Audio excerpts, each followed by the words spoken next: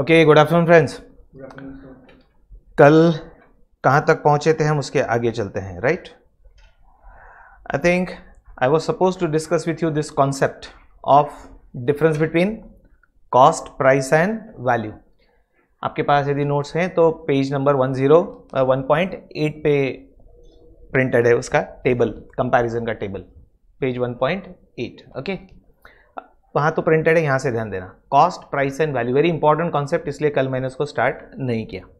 उसमें से cost is a fact price is a decision and value is an opinion इसको समझना है।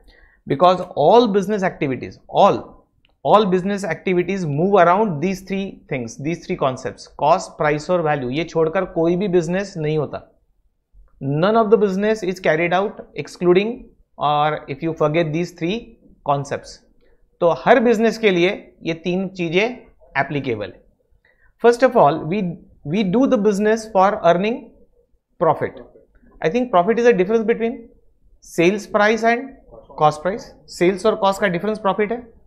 तो सेल्स प्राइस है नहीं ये है right this is your price which is sales price और ये आपकी है कॉस्ट कॉस्ट प्राइस इन दोनों का डिफरेंस है ना प्रॉफिट तो आई थिंक ये दोनों हर बिज़नेस के लिए इंपॉर्टेंट है।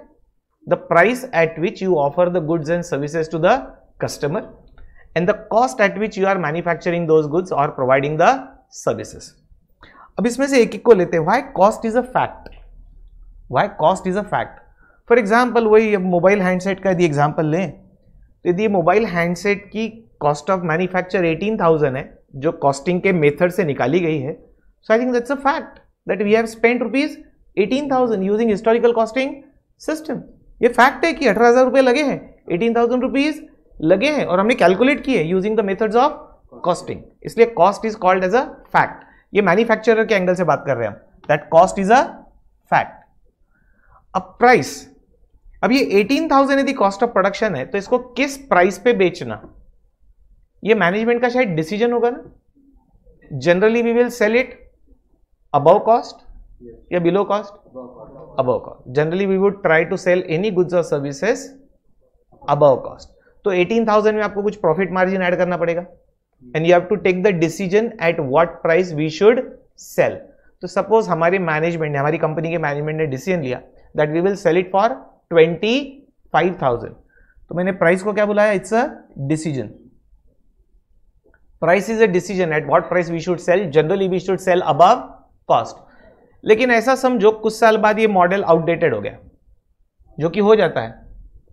कॉस्ट ऑफ़ मैन्युफैक्चर अभी भी एटीन थाउज़ेंड है, और स्टॉक कुछ पड़ा हुआ है, और आपको नया वर्जन लॉन्च करना है। और आपको पता है कि इसका नया वर्जन अपडेटेड वर्जन आएगा तो ये प्रोडक्ट बिकेगा नहीं। बराबर है कि नहीं? तो मैनेजमेंट ने एक डिसीज़न लिया फिफ्टीन थाउज़ेंड में बेच दो तो भी चलेगा नहीं तो बाद में उतने में भी नहीं बिकेगा। So I think management will take a pricing decision again and would sell it even below cost below eighteen thousand जितना रिकवर हो जाए, उतना तो कर लो, नहीं तो एटीन थाउज़ेंड भी नहीं मिलने वाला। तो ये किसका, ये क्या है? प्राइसिंग इज़ अ डिसीज़न और सीए फाइनल में इसके ऊपर एक चैप्टर है। प्राइसिंग डिसीज़न नाम का ही चैप्टर है। How to take the decision regarding fixation of sales price under different different situation in CA final so price is a decision cost is a fact अब वैल्यू पर आते हैं। Value is an opinion value is an opinion कैसे? वो समझना है हमको। जैसे opinion can change from person to person right और फ्रॉम सिचुएशन टू सिचुएशन वैसे ही वैल्यू का है। Know what is value first of all value is the benefit और utility received by customer when he purchases a product और a service value is the benefit और utility received by a customer वो customer के angle से है। ध्यान दे दोस्तों हम कोई भी चीज़ रोज कोई भी चीज़ गुड्स या सर्विस जब खरीदते हैं तो क्यों खरीदते हैं? क्यों पैसे खर्चा करते हैं?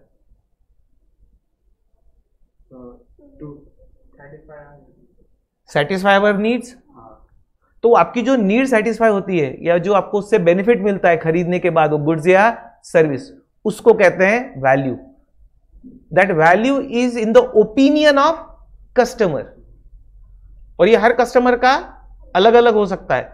अभी ये मोबाइल समझो हम ट्वेंटी फाइव थाउज़ेंड में बेच रहे हैं तो कोई कस्टमर खरीदेगा 25,000 में कोई बोलेगा नहीं महँगा है। तो कस्टमर ए ने खरीदा 25,000 में और बी ने नहीं खरीदा। इसका मतलब in the eyes of B उसकी वैल्यू 25,000 नहीं है। Therefore is not ready to pay अपना जब दिमाग बोलता है ना कि अरे ये प्रोडक्ट महँगा है तो अपना दिमाग एज अ कस्टमर बात कर रहा हूँ मैं value is from customers angle value की हम बात कर रहे हैं from customers angle.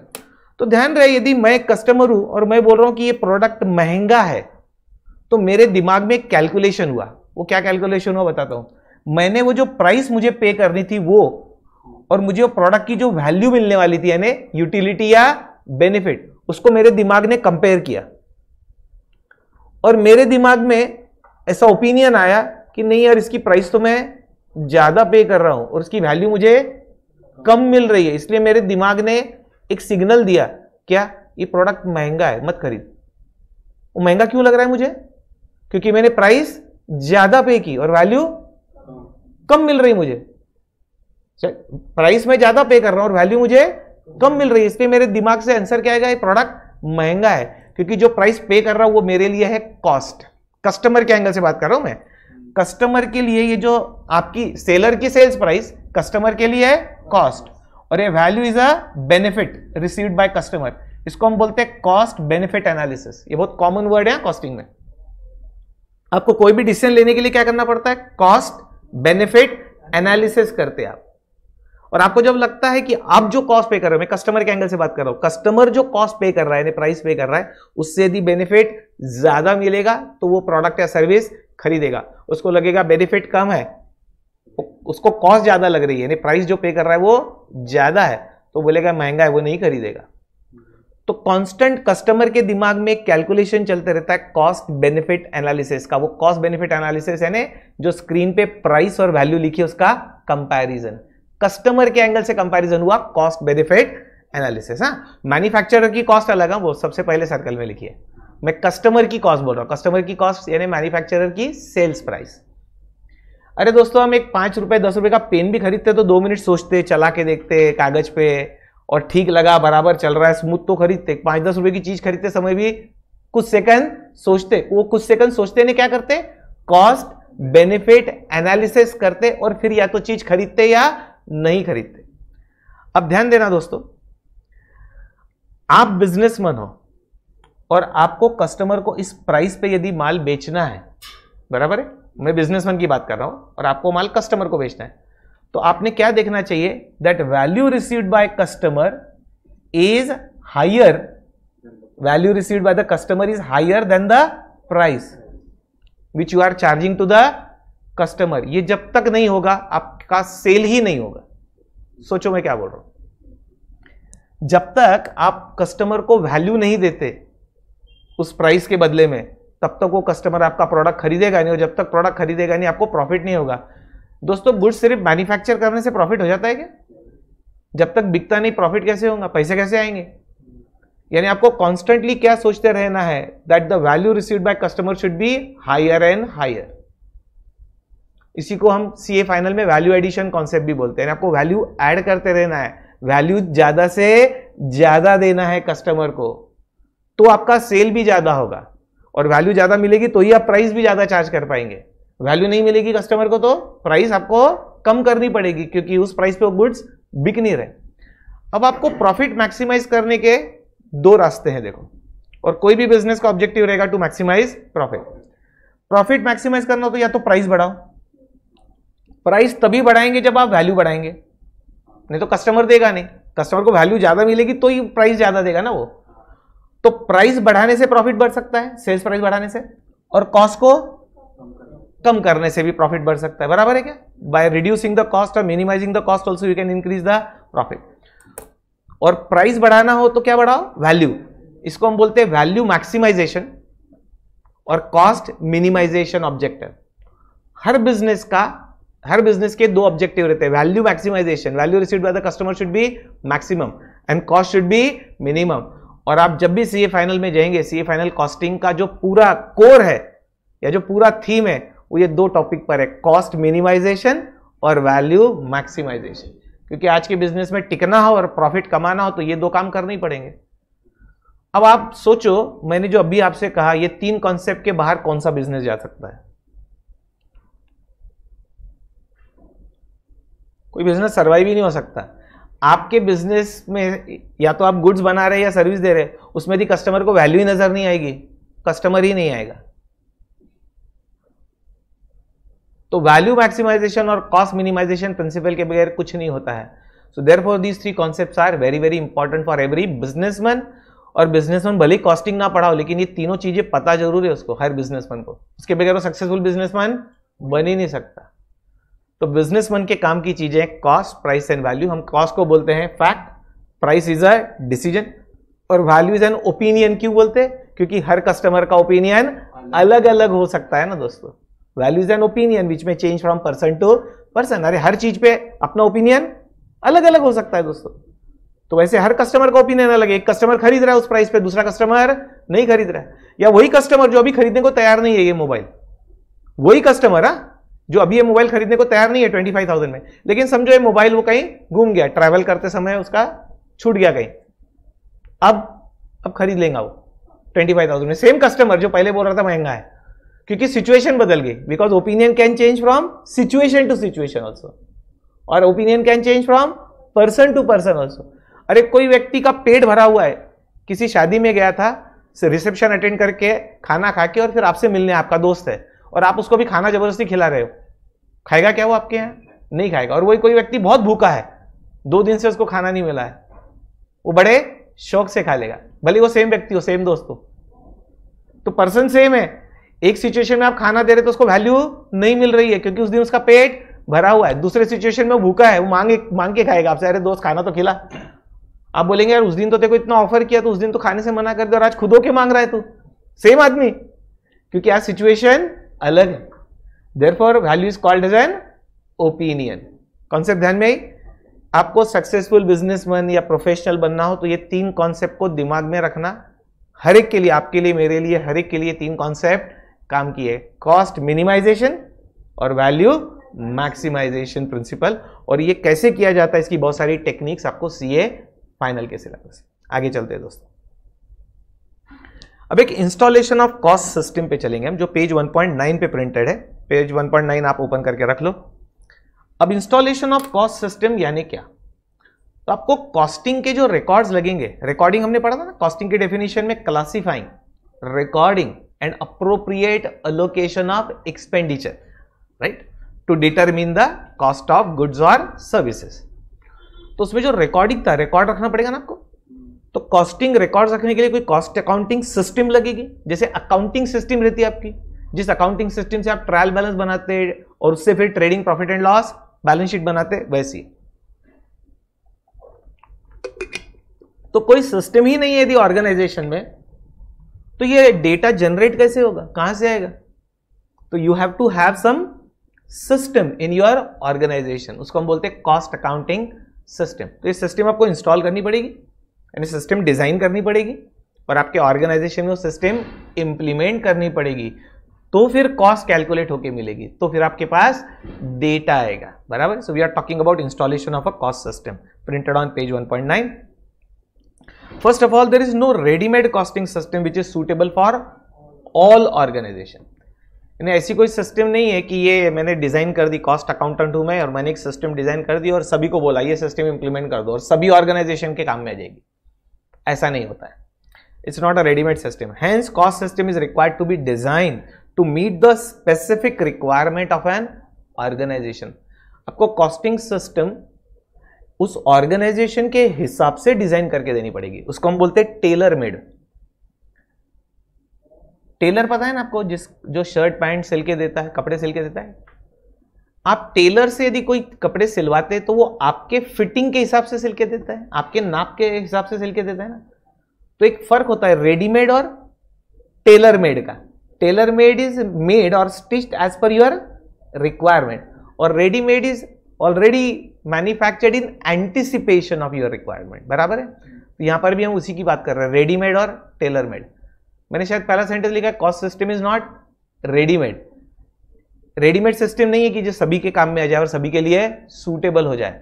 It has to be tailor made it has to be made as per the needs and requirement of that organisation अरे वो ऑर्गेनाइजेशन किस टाइप का है? वो मैन्युफैक्चरिंग इंडस्ट्री है क्या? सर्विस इंडस्ट्री है।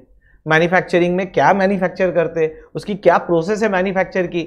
आपको सब समझना पड़ेगा, उसके हिसाब से वो सिस्टम डिज़ाइन करनी पड़ेगी ना। यानी मैं ऐसी एक सिस्टम डिज़ाइन करके सब ले लो। एविएशन इंडस्ट्री भी ले लो हॉस्पिटल इंडस्ट्री भी ले लो सीमेंट मैन्युफैक्चर भी ले लो और ऑटोमोबाइल मैन्युफैक्चर भी ले लो। ऐसा हो ही नहीं सकता दोस्तों। उस ऑर्गेनाइजेशन को समझो उसकी प्रोडक्शन प्रोसेस समझो फिर उसकी मैनेजमेंट की रिक्वायरमेंट क्या है वो समझो। मैनेजमेंट को क्या टाइप का डेटा चाहिए? वो टाइप का डेटा आपके सिस्टम से जनरेट होना चाहिए।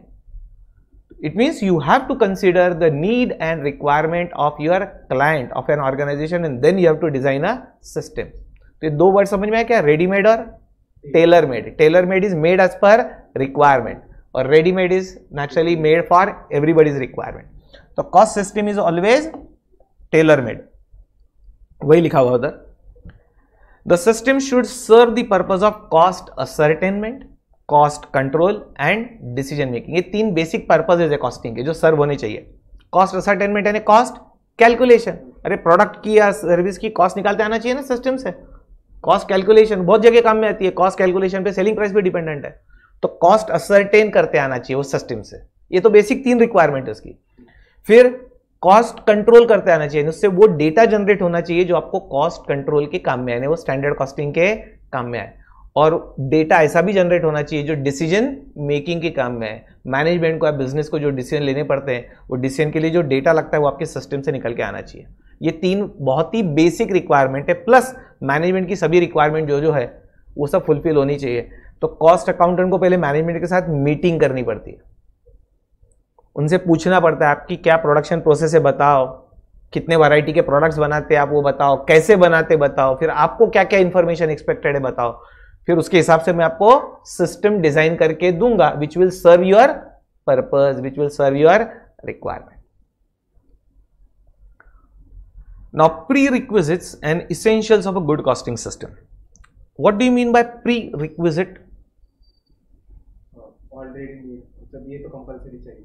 Good हम जैसे प्री प्रोडक्शन बात की थी ना? प्री रिक्विजिट यानी कॉस्टिंग सिस्टम इंस्टॉल करने के लिए पहले क्या क्या करना पड़ेगा? पहले क्या तैयारी करनी पड़ेगी? Prerequisite pre requirements prerequisites right तो प्री रिक्विजिट्स ये कॉमन वर्ड है, बहुत जगह यूज़ होगा ये, बहुत सारे सब्जेक्ट में भी यूज़ होगा। प्री रिक्विजिट का मतलब है, ये काम करने के पहले कौन सा काम करने का है? जैसे, भाई आपको सीए करना है तो प्री रिक्विजिट पहले इंस्टीट्यूट के पास रजिस्ट्रेशन तो करवा सीए कैसे हो जाएगा? नहीं तो जब तक आप रजिस्टर्ड स्टूडेंट ही नहीं बने। तो registration with institute of chartered accountants of India is a prerequisite of doing CA meaning समझा प्री रिक्विजिट का? और फिर essentials of a good system आपने अच्छे सिस्टम डिज़ाइन किए, कैसे पता चलेगा? उसमें क्या क्या क्राइटेरिया होने चाहिए? क्या क्या उसके इसेंशियल्स है? राइट जो डिसाइड करेंगे कि ये सिस्टम अच्छी है so what are two essentials ये हमको पढ़ना है, इस पर थेरी क्वेश्चन आ सकता है। So will discuss it from page number 1.9 और 1.10 तो मैं वो पेज आपके नोट्स का लगा देता हूँ 1.9 पेज पे ले चलता हूँ, वहाँ से डिस्कस करेंगे हम। प्री रिक्विजिट्स और इसेंशियल्स यहाँ से आपका इंस्टॉलेशन ऑफ़ कॉस्ट सिस्टम चालू होता है पेज 1.9 पे राइट ये देखो, यहाँ पर लिखा हुआ है, ये पढ़ रहा हूँ मैं। The following points should be considered before installing a cost system readable है वो? Before installing a costing system यानी हम काय की बात कर रहे हैं? प्री रिक्विजिट की। The nature method and stages of production nature of production stages of production right method of production, number of varieties कितने वराइटी के प्रोडक्ट्स आप बनाते right quantity of each product and such other technical aspects as necessary to design a costing system ये सब आपको पहले क्या करना पड़ेगा? समझना पड़ेगा। हम प्री रिक्विजिट्स की बात कर रहे हैं ना? शायद मैं बोल चुका अभी मैनेजमेंट के साथ मीटिंग करके ये सब समझना पड़ेगा आपको। तब आप उसके हिसाब से सिस्टम डिज़ाइन करेंगे। अभी जो हिंदी में बोला, वो इंग्लिश में लिखा है और कुछ नहीं है। राइट वही सब प्री रिक्विजिट है कि सिस्टम डिज़ाइन करने के पहले क्या क्या करना पड़ेगा? उसी की बात कर रहे हैं। फिर the size layout and organisation of the factory और सर्विस यूनिट कितने साइज़ का यूनिट है भाई? जैसे सीमेंट प्लांट छोटे साइज़ का है मीडियम साइज़ का है लार्ज साइज़ का है, उसके हिसाब से फिर वो सिस्टम डिज़ाइन करनी पड़ती है। लेआउट यानी फ़िज़िकल अरेंजमेंट वो प्लांट एंड मशीनरी की physical arrangement flow of work कैसा है रॉ मटेरियल कहाँ से जाके, कैसे फिनिश गुड्स में कन्वर्ट होता है, उसको बोलते हैं लेआउट लेआउट यानी फ़िज़िकल अरेंजमेंट जैसे डेस्क बेंच अरेंज किए ना तो ये अरेंजमेंट जिस तरीके से कि उसको बोलते हैं लेआउट टेक्निकल वर्ड है सब मैन्युफैक्चरिंग इंडस्ट्री के वर्ड है। लेआउट यानी फ़िज़िकल अरेंजमेंट राइट और वो ऑर्गेनाइजेशन का क्या स्ट्रक्चर है, वो आपको सब समझना पड़ेगा। आगे लिखा है the existing methods and procedures of purchase receipts storage and issue of material अभी आपकी कोई सिस्टम हो एग्जिस्टिंग सिस्टम कि आप मटेरियल कैसे परचेस करते ये सब हम अगले चैप्टर में देखने वाले राइट नेक्स्ट लेक्चर से अपना मटेरियल कॉस्ट टॉपिक चालू होगा, उसमें आपको परचेस प्रोसीजर राइट पढ़ाई जाएगी। मटेरियल रिसीट कैसे होता है? स्टोर कैसे होता है? मटेरियल इश्यू कैसे करते हैं प्रोडक्शन को? इसकी सब पूरी प्रोसीजर है, जो हमको नेक्स्ट चैप्टर में पढ़ना है मटेरियल टॉपिक में। लेकिन यदि वो है ऑलरेडी वहाँ पर ऑर्गेनाइजेशन में तो क्या है वो? समझो, क्योंकि उसके हिसाब से आपको डॉक्यूमेंटेशन डिज़ाइन करने पड़ते हैं, उसके accounting documentation how you purchase the material how you store it and how you issue it फिर method of maintenance of records that is whether the cost records will be integrated with अगले इस पे लिखा है financial records are not यानी आपको दो option रहते हैं कॉस्ट रिकॉर्ड्स अलग रखो सेपरेट और फाइनेंशियल रिकॉर्ड्स अलग. यदि ये अलग अलग रखना हो तो ओनली कॉस्ट रिकॉर्ड्स आपको डिज़ाइन करना है.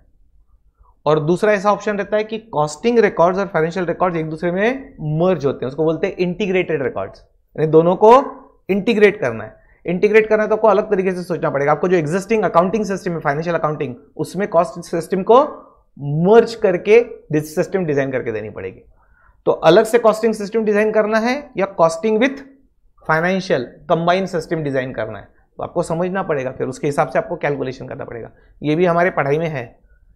लेजर अकाउंटिंग करके एक टॉपिक है, उसमें हम सिर्फ़ कॉस्ट लेजर अकाउंटिंग भी पढ़ेंगे और कॉस्टिंग प्लस फाइनेंशियल इंटीग्रेट होके मर्ज्ड सिस्टम भी पढ़ेंगे उसको बोलते हैं इंटीग्रेटेड अकाउंटिंग सिस्टम सब है सिलेबस में।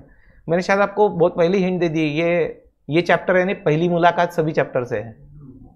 राइट आगे लिखा है the need and requirement of management with the view to control cost ये बात हुई ना अपनी? कॉस्ट कंट्रोल पर्पज सर्व होना चाहिए। तो मैनेजमेंट की रिक्वायरमेंट जो है वो समझो कॉस्ट कंट्रोल की। फिर statutory compliance and audit to be accommodated in the system तो ये भी समझो स्टैचूटरी ये वर्ड का मतलब क्या होता है? स्टैचूटरी बराबर। लीगल को बोलते हैं स्टैचूटरी एक्चुअली स्टैच्यूट्स का मतलब होता है एनी लॉ स्टैच्यूट स्टैच्यू नहीं, है? स्टैच्यूट्स यानी लॉ तो स्टैच्यूटरी यानी लीगल तो यदि कोई लीगल रिक्वायरमेंट है आपको कॉस्ट रिकॉर्ड्स मेंटेन करने की ऑडिट करने की तो आपको सिस्टम ऐसी डिज़ाइन करनी पड़ेगी कि वो लीगल कंप्लायंस फुलफिल होने चाहिए। और आपकी इंफॉर्मेशन के लिए बता दूँ दोस्तों for some of the companies who are issued the notification by government, they have to compulsorily maintain cost records as per cost accounting record rules अलग से रूल्स हैं। वो सभी कंपनी के लिए एप्लीकेबल नहीं है।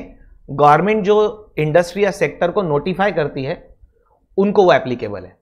तो जिनके लिए वो रिक्वायरमेंट है लीगल रिक्वायरमेंट उनको वो रिकॉर्ड जैसा गवर्नमेंट ने बोला है as per cost accounting record rules वैसे मेंटेन करने पड़ते हैं। तो आपको सिस्टम वैसी डिज़ाइन करके देनी पड़ेगी, क्योंकि वो लॉ है, वो रिकॉर्ड मेंटेन करना ज़रूरी है। और वो कंपनीज़ के कॉस्ट ऑडिट भी किए जाते हैं। हाँ कॉस्ट ऑडिट भी होता है, लेकिन सभी का नहीं होता है।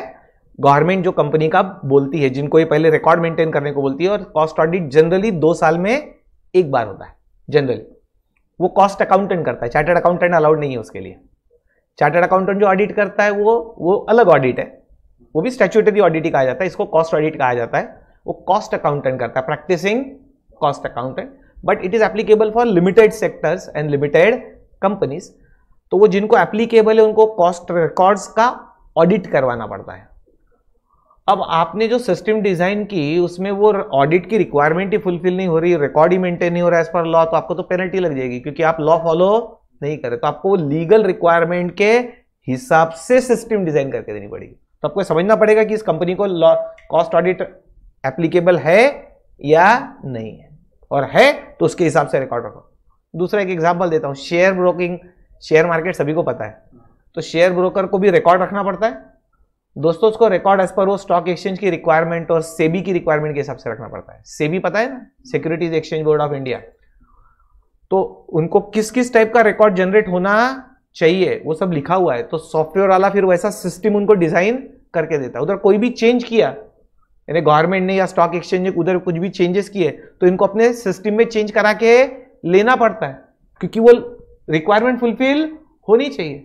क्या करेंगे?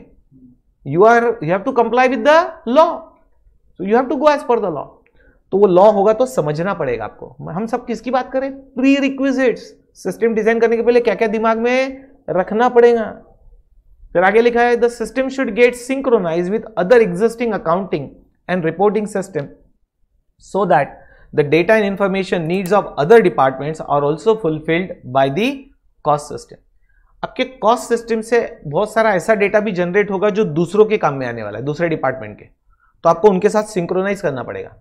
जैसे आप लेबर का रिकॉर्ड रखेंगे लेबर कॉस्ट का। तो वो मैन पावर डिवीज़न जो है ना एचआर डिपार्टमेंट उसके भी काम में आता है दोस्तों। उसके भी लीगल कंप्लायंसेस है इंडिया में मैन पावर रिक्वायरमेंट के। भाई, वो लेबर की बराबर प्रोविडेंट फंड का पैसा कट रहा है कि नहीं, उसका प्रोफेशन टैक्स कट रहा है कि नहीं, उसका टीडीएस बराबर कट रहा है कि नहीं, वो बराबर जमा हो रहा है कि नहीं? ये सब देखना पड़ेगा आपको। एक्चुअली वो काम दूसरे डिपार्टमेंट का है। लेकिन जब आप डेटा जनरेट कर रहे हो तो आपको उनके साथ कोऑर्डिनेशन करना पड़ेगा सिंक्रोनाइज करना पड़ेगा। यानी एक का डेटा दूसरे डिपार्टमेंट के जब काम में आता है तो आपको सभी डिपार्टमेंट से बात करके वो डेटा सिंक्रोनाइज करना पड़ेगा। तो नहीं तो वही काम बार बार करना पड़ेगा आपको। So that data generated should be useful by और should be useful to other departments also so you have to do that synchronisation और सबसे important willingness and cooperation of the staff and workers आपके company में जो staff और workers काम कर रहे हैं, उनका कोऑपरेशन ज़रूरी है क्या नहीं? कि उसके बगैर सिस्टम इंप्लीमेंट हो जाएगी। आपने तो डॉक्यूमेंट डिज़ाइन कर दिया कि ये डॉक्यूमेंट बनाने का रॉ मटेरियल आया कि ये डॉक्यूमेंट बनता है फैक्ट्री में आने के बाद। बनाने को तैयार ही नहीं है। आपका स्टाफ या ट्रेंड ही नहीं है उसके लिए। सिस्टम इंप्लीमेंट कैसे होगी? तो आपको उनको ट्रेनिंग देनी पड़ेगी, उनको, वो उनका कोऑपरेशन आपको लेना पड़ेगा।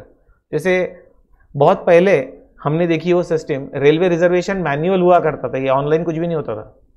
यानी रेलवे स्टेशन में जाके लाइन में खड़े रह के और रिजर्वेशन होता था। आपने वो जमाने नहीं देखा, हमने देखा है। और वो उसी काउंटर पे होता था, समझो वो ट्रेन एक्स वाई जेड है तो उस ट्रेन का एक काउंटर है, उसी काउंटर पे मिलेगा, क्योंकि उसका जो रजिस्टर था फ़िज़िकल था। वो रजिस्टर उस क्लर्क के पास है तो उसी के पास मिलेगा ना। तुम दूसरे काउंटर पे खड़े रहेंगे, उसके पास वो रिजर्वेशन का रजिस्टर ही नहीं है। तो देगा कैसे आपको टिकट उसको पता ही नहीं है कहाँ सीट खाली है और कहाँ नहीं है। तो उसी काउंटर पे होता था। फिर कंप्यूटराइजेशन का जमाना आया। तो जब कंप्यूटर लाने की बात हुई रेलवे डिपार्टमेंट में तो स्टाफ ने सबने प्रोटेस्ट किया स्ट्राइक किया। उनको ऐसा लग रहा था कंप्यूटर जाएगा तो हम तो बेकार ही हो जाएँगे। ये मैं बहुत पुरानी बात बोल रहा हूँ, जब कंप्यूटराइजेशन आया, उनको लगा हमारी तो ज़रूरत ही नहीं बचेगी, सब काम कंप्यूटर ही कर लेगा। और हमको निकाल देगी गवर्नमेंट तो बहुत प्रोटेस्ट हुआ तो उनको समझाना पड़ा, उसके एडवांटेजेस समझाने पड़े, उनको ये समझाना पड़ा, भैया, इंसान लगता है उसको भी चलाने के लिए, और तुम्हारा काम कैसे है? आसान होगा, अभी तुम सब हाथ से बनाते एक एक रिपोर्ट ये सब सिस्टम सिंक्रोनाइज हो जाएगी कंप्यूटराइज हो जाएगी तो ये प्रिंट आउट निकल जाएगा रेडीमेड यार, ये टिकट कहीं से भी बुकिंग हो जाएगा, तुम्हारी विंडो के सामने इतनी लाइन नहीं लगेगी। तो उनका कॉपरेशन जब लेना पड़ा और जब वो माने या उनको मनाया गया, तब जाके वो सिस्टम इंप्लीमेंट हुई। नहीं तो कोई भी system without cooperation of staff या वर्कर्स इंप्लीमेंट हो ही नहीं सकती। तो ये सब आपको पहले तैयारी करनी पड़ेगी। हम उसको बोलते हैं ना, हिंदी मराठी में पूर्व तैयारी। पहले जो तैयारी करनी है वो दैट इज़ प्री रिक्वेजिट अब चलते हैं हम essentials of good costing system यानी वो कॉस्टिंग सिस्टम अच्छी है ऐसा बोलने वाले यदि आप होंगे तो उसके लिए क्या क्या चीज़ें ज़रूरी है? वो इसेंशियल्स है। It must be informative and simple वो जो आप सिस्टम डिज़ाइन कर रहे हो it must be informative and उससे वो इन्फॉर्मेशन आपको मिलनी चाहिए जो चाहिए थी। और वो सिंपल होनी चाहिए कॉम्प्लिकेटेड होनी चाहिए आपने जो सिस्टम डिज़ाइन की। सिंपल होगी तो तो ही चलेगी ना दोस्तों कॉम्प्लिकेटेड रही तो वो एम्प्लॉय काम ही नहीं करेंगे। एक आपने टैली नाम का सॉफ्टवेयर सुना है क्या? अकाउंटिंग सॉफ्टवेयर वो बहुत चलता है, बहुत पॉपुलर है। वो बहुत पॉपुलर इसीलिए क्योंकि बहुत सिंपल है ऑपरेट करने में। आपका जब भी काम पड़ेगा, आपको आता भी होगा टैली नहीं तो आपको वैसे भी ट्रेनिंग में सिखाया जाएगा। एक कंप्यूटर वाला कोर्स है ना इंस्टीट्यूट का, उसमें भी सिखाया जाएगा और सीए के ऑफ़िस में जब आप आरटी का चिप ले जाएँगे तो आपको टैली पे काम करना ही पड़ेगा। वो डिज़ाइन करने वाले ने उसको इतना सिंपल तरीके से डिज़ाइन किया है, यानी ऑपरेटिंग में सिंपल है। तो आसान पड़ता है अकाउंटेंट को काम करना, इसलिए वो पॉपुलर है। मैंने वो अकाउंटिंग सिस्टम की बात की वैसे ही हम काय की सा बात करें? कॉस्ट अकाउंटिंग सिस्टम की। फिर it should be accurate and authentic it should give you the accurate result और नॉट राइट ऑथेंटिक और एक्यूरेट रिज़ल्ट मिलने चाहिए। सिस्टम में एरर्स है। आपको रॉन्ग डेटा मिल रहा है तो मतलब क्या आया फिर उसका? सिस्टम का फिर अच्छी नहीं है वो। हम इसेंशियल्स क्या की बात कर रहे हैं? गुड सिस्टम की। इफ़ ये है तो सिस्टम गुड है। और रिज़ल्ट यदि इनएक्यूरेट है तो सिस्टम इज़ नॉट गुड फिर it should involve minimum clerical work and expenditure वो सिस्टम ऐसी होनी चाहिए कि उसमें कम से कम टाइम लगे लेबर का टाइम क्लरिकल वर्क कम से कम लगे और खर्चा भी कम लगे। सिस्टम को इंप्लीमेंट करने का खर्चा भी तो कम लगना चाहिए ना, क्योंकि जो सिस्टम आपसे डिज़ाइन करा के ले रहा है, वो भी तो कॉस्ट बेनिफिट एनालिसिस करेगा ना। वो बोलेगा, या तो ऐसा बोलेगा कि सिस्टम को चलाने का इतना खर्चा लग रहा है तुम्हें इंस्टॉल क्यों करो?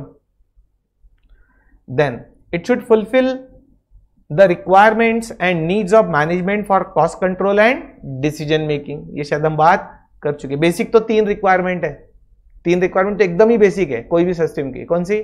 कॉस्ट असरटेनमेंट कॉस्ट कंट्रोल और डिसीज़न मेकिंग ये तो एकदम बेसिक चीज़ है जो फुलफिल होनी चाहिए तो सिस्टम डिज़ाइन करके फ़ायदा ही नहीं हुआ कुछ।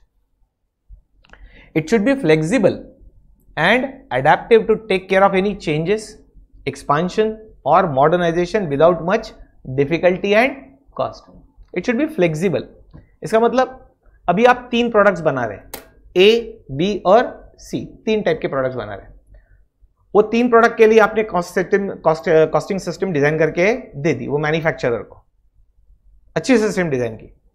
अब मैन्युफैक्चरर ने आपको चार महीने बाद बुलाया और बोला, सर, हमने एक डी प्रोडक्ट भी लॉन्च किया है। सी के साथ प्रोडक्ट डी लॉन्च हुआ है तो उसकी भी कॉस्ट निकलनी चाहिए ना सिस्टम से? तो वैसी व्यवस्था कर दो, तुम्हारे एग्जिस्टिंग सिस्टम में प्रोडक्ट डी को ऐड कर दो तो आपने बोला, नहीं नहीं नहीं, वो तो तीन ही प्रोडक्ट के लिए बनी थी, उसको पूरा स्क्रैप करेंगे, फिर से नया डिज़ाइन करेंगे।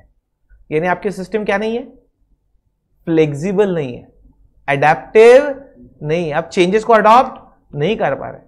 तो आपको सिस्टम डिज़ाइन करते समय ये सोच लेना है कि वो फ्लेक्सिबल होनी चाहिए, उसमें चेंजेस करते आने चाहिए अडेप्टिव होनी चाहिए to the changes and it should be adaptive and flexible with minimum cost यानी मिनिमम कॉस्ट पे चेंजेस करते आने चाहिए। तो वो सिस्टम अडेप्टिव हुई ना दोस्तों। राइट तो सिस्टम डिज़ाइन करते समय ये ध्यान रखना पड़ता है। जैसे फिर से यदि टेलर की बात करूँ, यदि हम कपड़े स्टिच करा के लेते हैं तो अच्छा टेलर वो रहता है जो कपड़े स्टिच करते समय थोड़ा मार्जिन रखता है उसमें। मार्जिन इसलिए रखता है भाई साइज़ कम ज़्यादा हो गई तो कप, वो पैंट शर्ट को ऑल्टर करते आना चाहिए। यानी आपने उसमें फ्लेक्सिबिलिटी रखी है कि चेंजेस हुए तो ऑल्टर करते आना चाहिए। उसमें उसने इतना कट टू कट सिला है कि उसमें कुछ भी चेंजेस नहीं कर सकते। आप एक इंच भी कम नहीं कर सकते और बढ़ा सकते। इसका मतलब वो टेलर अच्छा है? नहीं, उसने फ्लेक्सिबिलिटी का मार्जिन ही नहीं रखा उसने चेंजेस का मार्जिन नहीं रखा। तो you should be adaptive you should be flexible system should be adaptive and flexible फिर the cost accounting system should be integrated with other systems like financial accounting taxation legal compliance अभी जो मैं बात कर रहा था राइट right? अलग अलग लोगों से वो सिस्टम कनेक्ट होती है अलग अलग डिपार्टमेंट से तो सबकी रिक्वायरमेंट फुलफिल होनी चाहिए। तो ध्यान रख के इंटीग्रेट करना पड़ता है सबसे, सब सिस्टम से इंटीग्रेट होता है वो। Then uniformity and consistency there should be a uniformity and consistency in classification treatment and reporting of cost data and related information this is required for comparability of result within the organization and outside the organization कुछ बात याद आ रही होगी तो मैंने uniform costing discuss किया था आपसे। Uniform costing and interfirm comparison हाँ बाकी लोगों के साथ आपका कंपैरिजन होना चाहिए। वही तो लिखा है ये कंपैरिजन विद इन और आउटसाइड जब आप आउटसाइडर से कंपैरिजन करते हो तो उसको बोलते हैं इंटर फर्म कंपैरिजन दूसरे के साथ जब कंपेयर करते हो। और जब आप खुद का ही डेटा अपने पास डेटा से कंपेयर करते हो तो उसको बोलते हैं intra firm intra intra firm यानी विद इन कंपैरिजन और इंटर फर्म यानी आउटसाइड के साथ। अपन बोलते हैं ना inter collegiate match inter collegiate match यानी एक कॉलेज का, दूसरे कॉलेज के साथ। Inter collegiate matches intra collegiate यानी कॉलेज के अंदर ही अलग अलग डिवीज़न का मैचेस तो आपको वो डेटा यूनिफॉर्म तरीके से मेंटेन करना पड़ेगा। तो आप खुद का डेटा भी खुद के साथ कंपेयर कर सकते हैं लास्ट ईयर का, इस ईयर के साथ। विद इन द ऑर्गेनाइजेशन या विद आउटसाइड द ऑर्गेनाइजेशन यानी इंटर फर्म कंपेरिजन तो डेटा ऐसे मेंटेन uh, करो कि इंटरफर्म के भी काम में आए इंटर फर्म कंपेरिजन और इंट्रा फर्म के trust on the system management should have trust on the system and its output output of the system है? सिस्टम से जो रिपोर्ट निकल रहा है उस पर मेरा ट्रस्ट तो होना चाहिए। जैसे एग्ज़ाम्पल के लिए दोस्तों आप बैंक से पासबुक अपडेट करके लाते कभी कभी या बैंक की स्टेटमेंट डाउनलोड करते तो आपको कभी डाउट आता कि इसमें लिखा तो है बैलेंस 2029 दिख रहा है। साला गलत भी हो सकता है। ऐसा दिमाग में आता है क्या कभी? नहीं आता। क्यों? क्योंकि हमारा फेथ है उनके सिस्टम पे कि बैंक बैंक ने जो बैलेंस बोला है वो करेक्ट ही बोला होगा। यानी उनका अकाउंटिंग सही हुआ होगा। हम एटीएम से पैसे निकाल के लाते। समझो फाइव थाउज़ेंड रुपीज़ आपने एटीएम से विड्रॉ किए और फाइव थाउज़ेंड बराबर अकाउंट में कम हो जाते। अपने को ऐसा डाउट आता कि कभी अरे निकाले तो पाँच हज़ार उधर कहीं पचास हज़ार नहीं कट गए हो। नहीं, क्योंकि वो सिस्टम वैसी डिज़ाइन की गई है जिसपे लोगों का फेथ और ट्रस्ट एस्टैब्लिश हो गया तो आपकी सिस्टम से भी वो डेटा ऐसा निकलना चाहिए कि उसके ऊपर फेथ और ट्रस्ट एस्टैब्लिश हो लोगों का right for this the active role of management is required for the development of such system that reflects a strong conviction in using the information for decision making तो इसमें management का trust होना ज़रूरी है, इसलिए मैनेजमेंट ने वो system को डेवलप करते समय उसमें पार्टिसिपेट भी होना ज़रूरी है, क्योंकि बाद में उन्हीं को वो डेटा लगने वाला है। तो पहले आप भी इन्वॉल्व हो किसके साथ? कॉस्ट अकाउंटेंट के साथ in the process of designing the system तो आपको जैसी इंफॉर्मेशन चाहिए, वैसी आपको सिस्टम से मिलेगी and then you will have the trust and faith in that system ठीक है दोस्तों? आगे और भी थेरी है, लेकिन वो आप पढ़ लेना। जैसे मैंने आपको कल कल परसों ही बताया था कॉस्ट अकाउंटिंग फाइनेंशियल अकाउंटिंग का कंपैरिजन है। कॉस्ट अकाउंटिंग मैनेजमेंट अकाउंटिंग का कंपैरिजन है। ठीक है? मैं यहाँ ले चलता हूँ वापस। कोई दूसरा मैटर लेते हैं प्री रिक्विजिट्स एंड एसेंशियल्स के बाद। ये एक इंटरेस्टिंग मैटर है। Difference between cost control and cost reduction right वैसे ये कहाँ प्रिंट है? ये पेज नंबर 1.12 पे प्रिंटेड है। Cost control and cost reduction हम वहाँ से उसको डिस्कस करेंगे। ये भी एक इंपॉर्टेंट डिस्कशन है। ये सब थेरी क्वेश्चंस जो आते हैं दोस्तों, उसके काम में आएगा आपके। कॉस्ट कंट्रोल कॉस्ट रिडक्शन तो मैं पेज 1.12 पे चलता हूँ। वैसे फ़र्स्ट रीडिंग में देखो आपको क्या लगता है? दोनों एक ही लग रहे क्या? Cost control cost reduction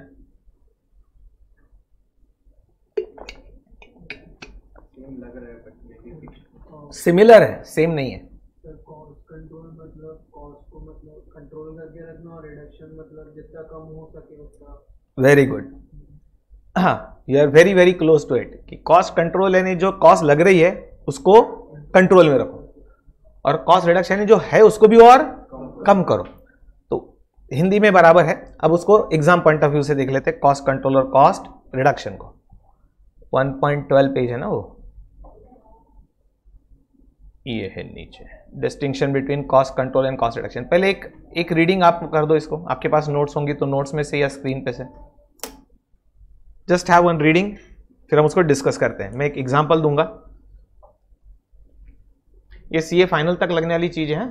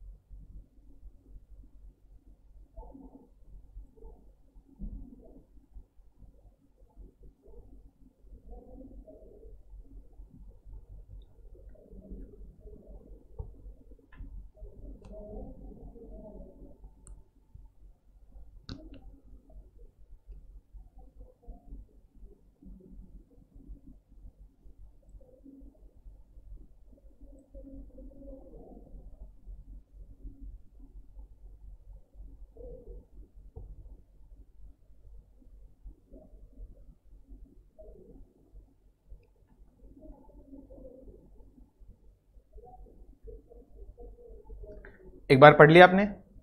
cost control और कॉस्ट रिडक्शन उससे नेचुरली कुछ पॉइंट समझ में आ गए सिंपल इंग्लिश पढ़ के समझ में आ गए कुछ पॉइंट नहीं आए, उसी के लिए तो मैं बैठा हूँ ना? राइट अब एक एग्ज़ाम्पल लेते दोस्तों तो जरा समझो एग्ज़ाम्पल से। कॉस्ट कंट्रोल क्या है और कॉस्ट रिडक्शन क्या है? पहले कॉस्ट कंट्रोल का एग्ज़ाम्पल दे रहा हूँ आपको। जस्ट वो कॉन्सेप्ट ध्यान रखने के लिए फिर क्या है? थ्योरेटिकल आंसर आप डेवलप करके लिख सकते हैं। ऐसा समझो कि हमारे घर में इलेक्ट्रिसिटी का बिल ज़्यादा आ रहा है और उसको कम करना है। मैं पहले कॉस्ट कंट्रोल की बात कर रहा हूँ। अब हमारा फ्लैट है समझो थ्री बी के। का बी के पता है ना? Bedroom hall kitchen three bedroom एक हॉल एक किचन थ्री बी का फ्लैट हमारा भी है, उस बिल्डिंग में। बाजू वालों का भी है। हमारे भी मेंबर्स फैमिली मेंबर्स उतने ही हैं, उनके भी उतने ही हैं। फिर भी बाजू वालों का बिल आता है करीबन 1200 इलेक्ट्रिसिटी का। फ्लैट की size same number of members in the family same और हमारे फ्लैट का 2500 तो मीटर में गड़बड़ है क्या इलेक्ट्रिसिटी के? नहीं ना? तो कुछ तो गड़बड़ है लेकिन राइट तो एक संडे को सब फैमिली मेंबर्स की अपने घर में मीटिंग हुई। एक संडे को फैमिली मेंबर्स की मीटिंग हुई घर में कि भाई बाजू वालों का बिल कम आता है, अपना ज़्यादा क्यों आता है?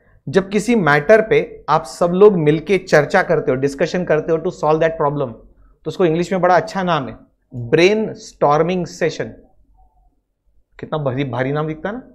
ब्रेन स्टॉर्मिंग सेशन यानी क्या चल रहा है? ब्रेन स्टॉर्मिंग चल रहा है। यानी आप किसी काम पे, किसी प्रॉब्लम पे दिमाग लगा रहे हो to solve that problem it is called brain storming session तो घर में ब्रेन स्टॉर्मिंग सेशन चालू है। और वो सेशन जब चालू हुआ तो एक एक ने एक ने दूसरे पे आरोप करना चालू कर दिया। बोले, देख, तू सबसे पहले उठता सुबह सी ए क्लास के लिए भागता राइट तो जो गीज़र चालू करता तू, पानी का इलेक्ट्रिक गीज़र है, वो चालू तो करता, बंद कौन करेगा? वैसे ही भाग जाता। वो चलते रहता ना, और इलेक्ट्रिक गीज़र बहुत इलेक्ट्रिसिटी कंज्यूम करता है। ऐसा एक ने दूसरे को बोला राइट कि तू ऐसा करता है।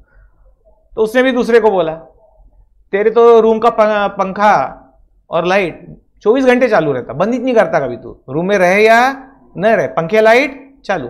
और तो आपने देखा होगा ऐसा होता है घरों में। तीसरे ने बोला, तू तो टीवी जो सुबह उठता है, तब से जो चालू रहता है तो तो किस्मत है कि सोते समय तब भी बंद करता है। दिन भर दिन भर टीवी खुद को ही एंटरटेनमेंट करते रहता है उसके सामने कोई बैठा हो तब चालू रखो ना। जब ज़रूरत नहीं है तब बंद रखो। अब ये ऐसा आप करते रहेंगे, एक दूसरे को बोलते रहेंगे तो इलेक्ट्रिसिटी का बिल कम होने वाला है क्या? नहीं। पहले ये सब होगा एक दूसरे को दोष दे दिया, फिर उन्होंने बोला, नहीं नहीं, इससे काम नहीं होगा। अब अपने को ये तब भी पता चला कि प्रॉब्लम क्या है। प्रॉब्लम एक ही है। The electrical instruments are not switch off after the use ये एक प्रॉब्लम है। ये सब एक दूसरे को जो बोला, इससे एक ही चीज़ समझ में आई that it should be switched on only when it is in use and it should be switched off when it is not in use ये तो हम ये आज से इंप्लीमेंट करना चालू कर देते। और इंप्लीमेंट भी कैसे करेंगे? समझो ए भूल गया, गीजर चालू करना बंद करना बी के ध्यान में आया। अरे तो भाई तेरे ध्यान में आ गया तो तू बंद कर देना यार। अब वो तो निकल गया क्लास को ए तो। अब वो तो शाम को ही आने वाला है सीधा घर पे। तो तेरे ध्यान में आ गया कि गीजर चालू है, बंद तू कर दे। अच्छा ए के ध्यान में आ गया कि बी के रूम का पंखा चालू है, और रूम में कोई नहीं है तो तू बंद कर देना यार, क्या फ़र्क पड़ रहा? अपने घर का मामला है ना। इलेक्ट्रिसिटी तो बिल अपने ही लगने वाला है ना किसी के भी ध्यान में आए कि some electrical instrument is switch on but it is not in use better switch it off ये आपने सबने डिसीज़न लिया उस संडे को, और ये काम चालू किया इंप्लीमेंटेशन चालू किया। तो इससे इलेक्ट्रिसिटी का बिल कम तो होगा ना? तो आपका इलेक्ट्रिसिटी का बिल कम होना चालू हो गया? 2500 था, पहले 2000 पे आया। बेटा अंदर रख दे बैग में। 2500 से 2000 पे आया 2000 से 1800 पे आया 1500 तक लेके आया उसको। 1500 तक आने के बाद वापस ऊपर जाना चालू हो गया। क्यों? क्योंकि पुरानी आदत है। वो कुछ जल्दी सुधरती नहीं। वापस ओल्ड ट्रैक पे चले गए आप और फिर से बिल बढ़ना चालू। आपने कोशिश की थी कि बाजू वालों का 1200 आता है, उसके पास लाएँगे। अब इसमें ध्यान रहे, बाजू वालों का इलेक्ट्रिसिटी बिल आपने स्टैंडर्ड मान लिया कि वो बहुत एफिशिएंटली इलेक्ट्रिसिटी का कंजम्पशन करते हैं। तो उसको आपने क्या ट्रीट किया? स्टैंडर्ड यानी बेंचमार्क भी बोलते हैं उसको।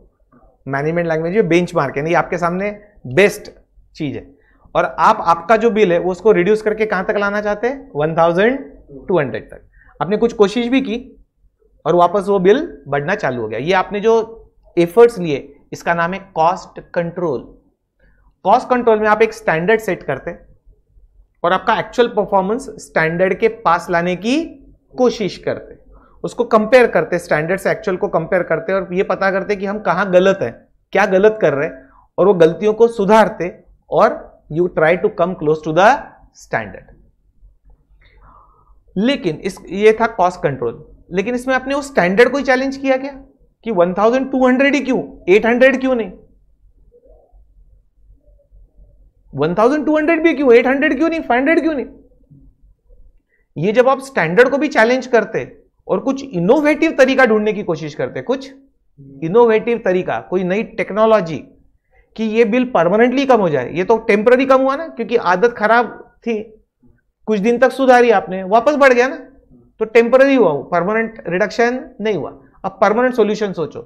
तो तीन महीने बाद, चार महीने बाद एक संडे को फिर से घर में ब्रेन सेशन हो फिर से मीटिंग हुई कि इस बार कुछ परमानेंट सोल्यूशन ढूंढते तो फिर एक एक दिमाग में आए, बोले, एक तो ये जो इलेक्ट्रिक गीजर है ना, इसकी जगह सोलर गीजर लगा देते सोलर पावर वाली गीजर लगते हैं ना आजकल वाटर गीजर तो उसका कंजम्पशन कम हो जाएगा।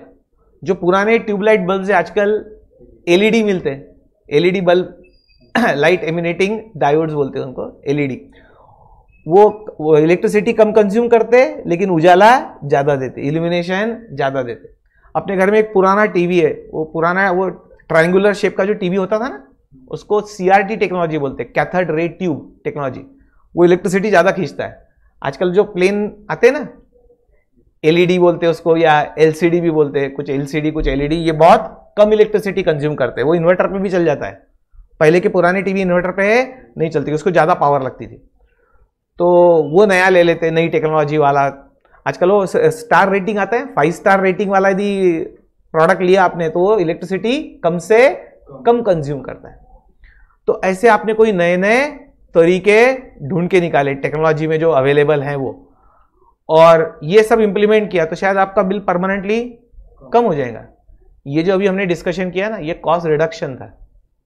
ये क्या था? कॉस्ट रिडक्शन और पहले जो कर रहे थे वो था कॉस्ट कंट्रोल अब आपने कॉस्ट रिडक्शन कर दिया, समझो टेलीविज़न नया आ गया एलईडी तो अब इसको पहले तो 12 घंटे चालू रहता था दिन में, अभी 24 घंटे चालू रखो फिर। नहीं, ऐसा नहीं है, दोनों को साथ में करना है। कॉस्ट रिडक्शन भी करना है साथ साथ में कॉस्ट कंट्रोल भी चालू रखना है ना। Both should go hand in hand तो किसी भी ऑर्गेनाइजेशन में कॉस्ट रिडक्शन और कॉस्ट कंट्रोल साथ साथ चलेंगे तो lot of cost will be save और अभी हमने थोड़ी देर पहले बात की थी cost minimization is one of the objectives of business cost minimization and value maximization अब एक बार और पढ़ लो इसको। और मैंने जो एग्ज़ाम्पल बोला, उससे कोरिलेट करके देखो ये होता है कि नहीं। मैंने सिर्फ़ एग्ज़ाम्पल समझाने के लिए दिया था। You can apply it in many situations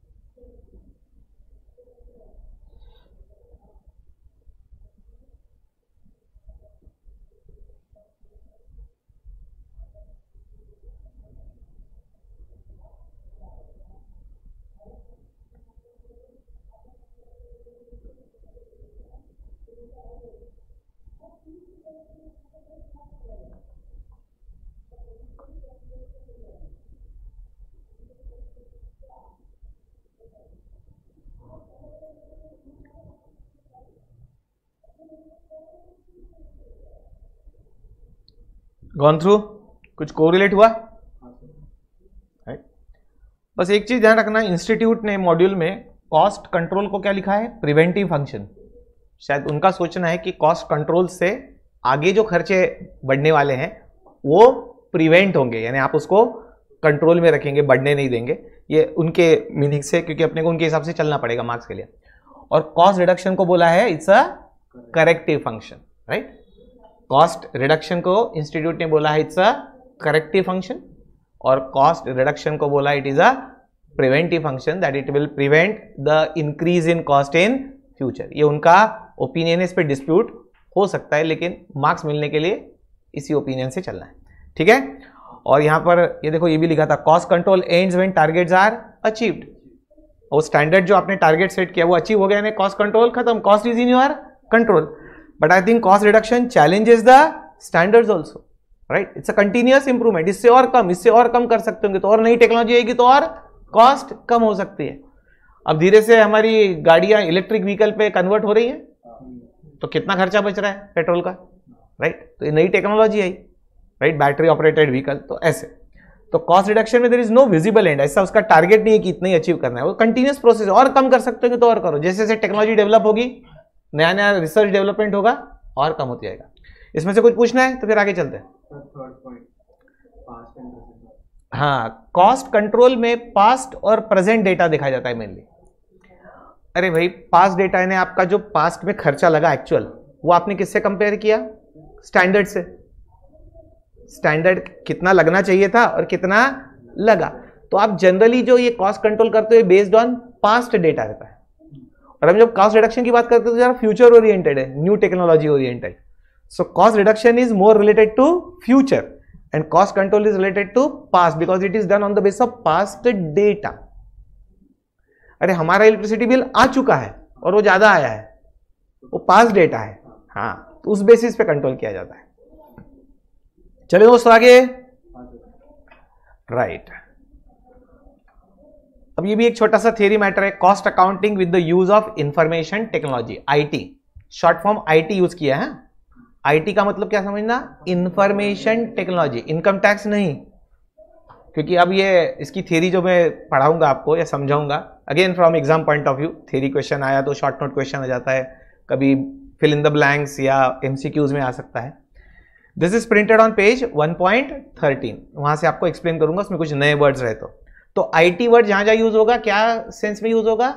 information technology अब एक हेडिंग से आपको ये तो समझ में आया होगा। हम काय की बात कर रहे हैं? Use of information technology in cost accounting आजकल इंफॉर्मेशन टेक्नोलॉजी कहाँ पर नहीं है? It is affecting our day to day life अरे मैं आपको पढ़ा रहा हूँ, वही टेक्नोलॉजी पर डिपेंडेंट है आज की तारीख में राइट right? आप तो मेरे सामने बैठे हो, जो यहाँ सामने नहीं बैठे वो भी मुझसे पढ़ रहे हैं वहाँ बैठ के, दूर बैठ के राइट थ्रू लाइव स्ट्रीमिंग तो that is the fun of technology तो आजकल सब जगह इंफॉर्मेशन टेक्नोलॉजी घुस गई है। तो कॉस्ट अकाउंटिंग में इंफॉर्मेशन टेक्नोलॉजी का यूज़ कहाँ कहाँ और कैसे हो सकता है, ये हमको देखना है। So we will discuss it from page number 1.13 okay अब यहाँ पर भी मैं इसलिए पढ़ के सुना रहा हूँ, वैसे तो ये आप भी पढ़ सकते नोट्स में से, घर पे, कि कुछ वर्ड्स नए हैं। कुछ चीज़ें नहीं है जो आप, आपकी इमेजिनेशन में है, नहीं आएँगी। इसलिए मैं कुछ एक्सप्लेनेशन दे देता हूँ उसका चलो लेट्स गो यहाँ से स्टार्ट कर रहा हूँ मैं। With the expansion of e commerce and increasing competitive business environment information technology is becoming an integral part of each activity in an organization, including cost and management accounting दोस्तों, जहाँ पर भी ये वर्ड यूज़ होता है ना integral part integral means inseparable जैसे hands legs eyes these are all integral parts of our bodies right they are all integral parts of our body यानी इनसेपरेबल इंपॉर्टेंट तो वैसे आजकल आईटी तो मैंने बोला ना, सब जगह घुस गए आईटी के बगैर आजकल कोई काम ही नहीं होता। यानी information technology has become an integral part of almost every activity in the business every activity में including the activity of cost and management accounting सबका वो ज़रूरी हिस्सा हो गया है। इंपॉर्टेंट हिस्सा हो गया information technology now information technology has change the cost and management accounting function dramatically with the introduction of enterprise resource planning system पता है कि किसी को ईआरपी सिस्टम सुना है? बराबर। ई ईआरपी का फुल फॉर्म पहली बात तो एंटरप्राइज रिसोर्स प्लानिंग ये सॉफ्टवेयर है। ऑर्गेनाइजेशन के सभी function all functions of an organization when they are bundled into one software then that software is called ERP ये सॉफ्टवेयर इंडस्ट्री की बेस्ट गिफ्ट है टू बिजनेसमैन और ये ईआरपी e हर business के हिसाब से डिज़ाइन करके देना पड़ता है, क्योंकि हर बिज़नेस की रिक्वायरमेंट अलग अलग है. तो बिज़नेस की जो जो रिक्वायरमेंट है, सभी डिपार्टमेंट की, पूरे ऑर्गेनाइजेशन की रिक्वायरमेंट को समझ के उसको एक सॉफ्टवेयर में डाल के दिया जाता है. Bundled into one software is called ERP दोस्तों, आज की तारीख में रेलवे रिजर्वेशन सिस्टम ईआरपी पे काम चलती है। Bombay stock exchange national stock exchange की सिस्टम ईआरपी पे चलती है। सभी जगह ऑलमोस्ट आपके बैंक की सिस्टम ईआरपी पे चलती है। अब ये आप बोलेंगे तो ये तो ऐसा भी चलता था पहले भी। नहीं दोस्तों, पहले ऐसा नहीं था। जब कंप्यूटर धीरे धीरे आए थे ना तो हर काम के लिए अलग अलग सॉफ्टवेयर हुआ करता था। वो जमाना हमने देखा। हमने मैनुअल सिस्टम से यहाँ तक की सिस्टम हमने एक्सपीरियंस की, आप लोगों ने एक्सपीरियंस की नहीं। आपने डायरेक्ट एटीएम ही देखा है कि एटीएम से पैसे मिलते हैं। क्योंकि हमारी वो जनरेशन है जो बैंक में जाके लाइन में खड़े रह के पैसे निकालती थी। एटीएम नाम की कोई चीज़ नहीं थी। तो हमने कंप्यूटराइजेशन धीरे धीरे होते देखा है। जब वो धीरे धीरे हो रहा था ना, जब ईआरपी e नहीं था तो क्या होता था? आपको अकाउंटिंग करना है। तो अकाउंटिंग का एक सॉफ्टवेयर आपको बिल प्रिंट करना है तो उसका एक सॉफ्टवेयर। आपको एचआर मैनेजमेंट करना है तो उसका अलग सॉफ्टवेयर। आपको रॉ मटेरियल का स्टॉक लेवल चेक करना है तो उसका अलग सॉफ्टवेयर। आपको वर्कर्स का पेमेंट का शीट जनरेट करना है तो उसका अलग सॉफ्टवेयर। ऐसा जमाना था, यानी पहले हर काम के लिए अलग अलग सॉफ्टवेयर। और हो सकता है सॉफ्टवेयर के प्रोवाइडर प्रोवाइडर यानी वेंडर्स वेंडर्स यानी जिससे आपने सॉफ्टवेयर खरीदा, वो वेंडर अलग अलग फिर इनके आपस में कोऑर्डिनेशन नहीं होता था। ये सिस्टम इंटीग्रेट नहीं होती थी। सबकी सिस्टम अलग अलग सबकी रिक्वायरमेंट अलग अलग सबका प्लेटफॉर्म अलग अलग सॉफ्टवेयर डिज़ाइन करने का।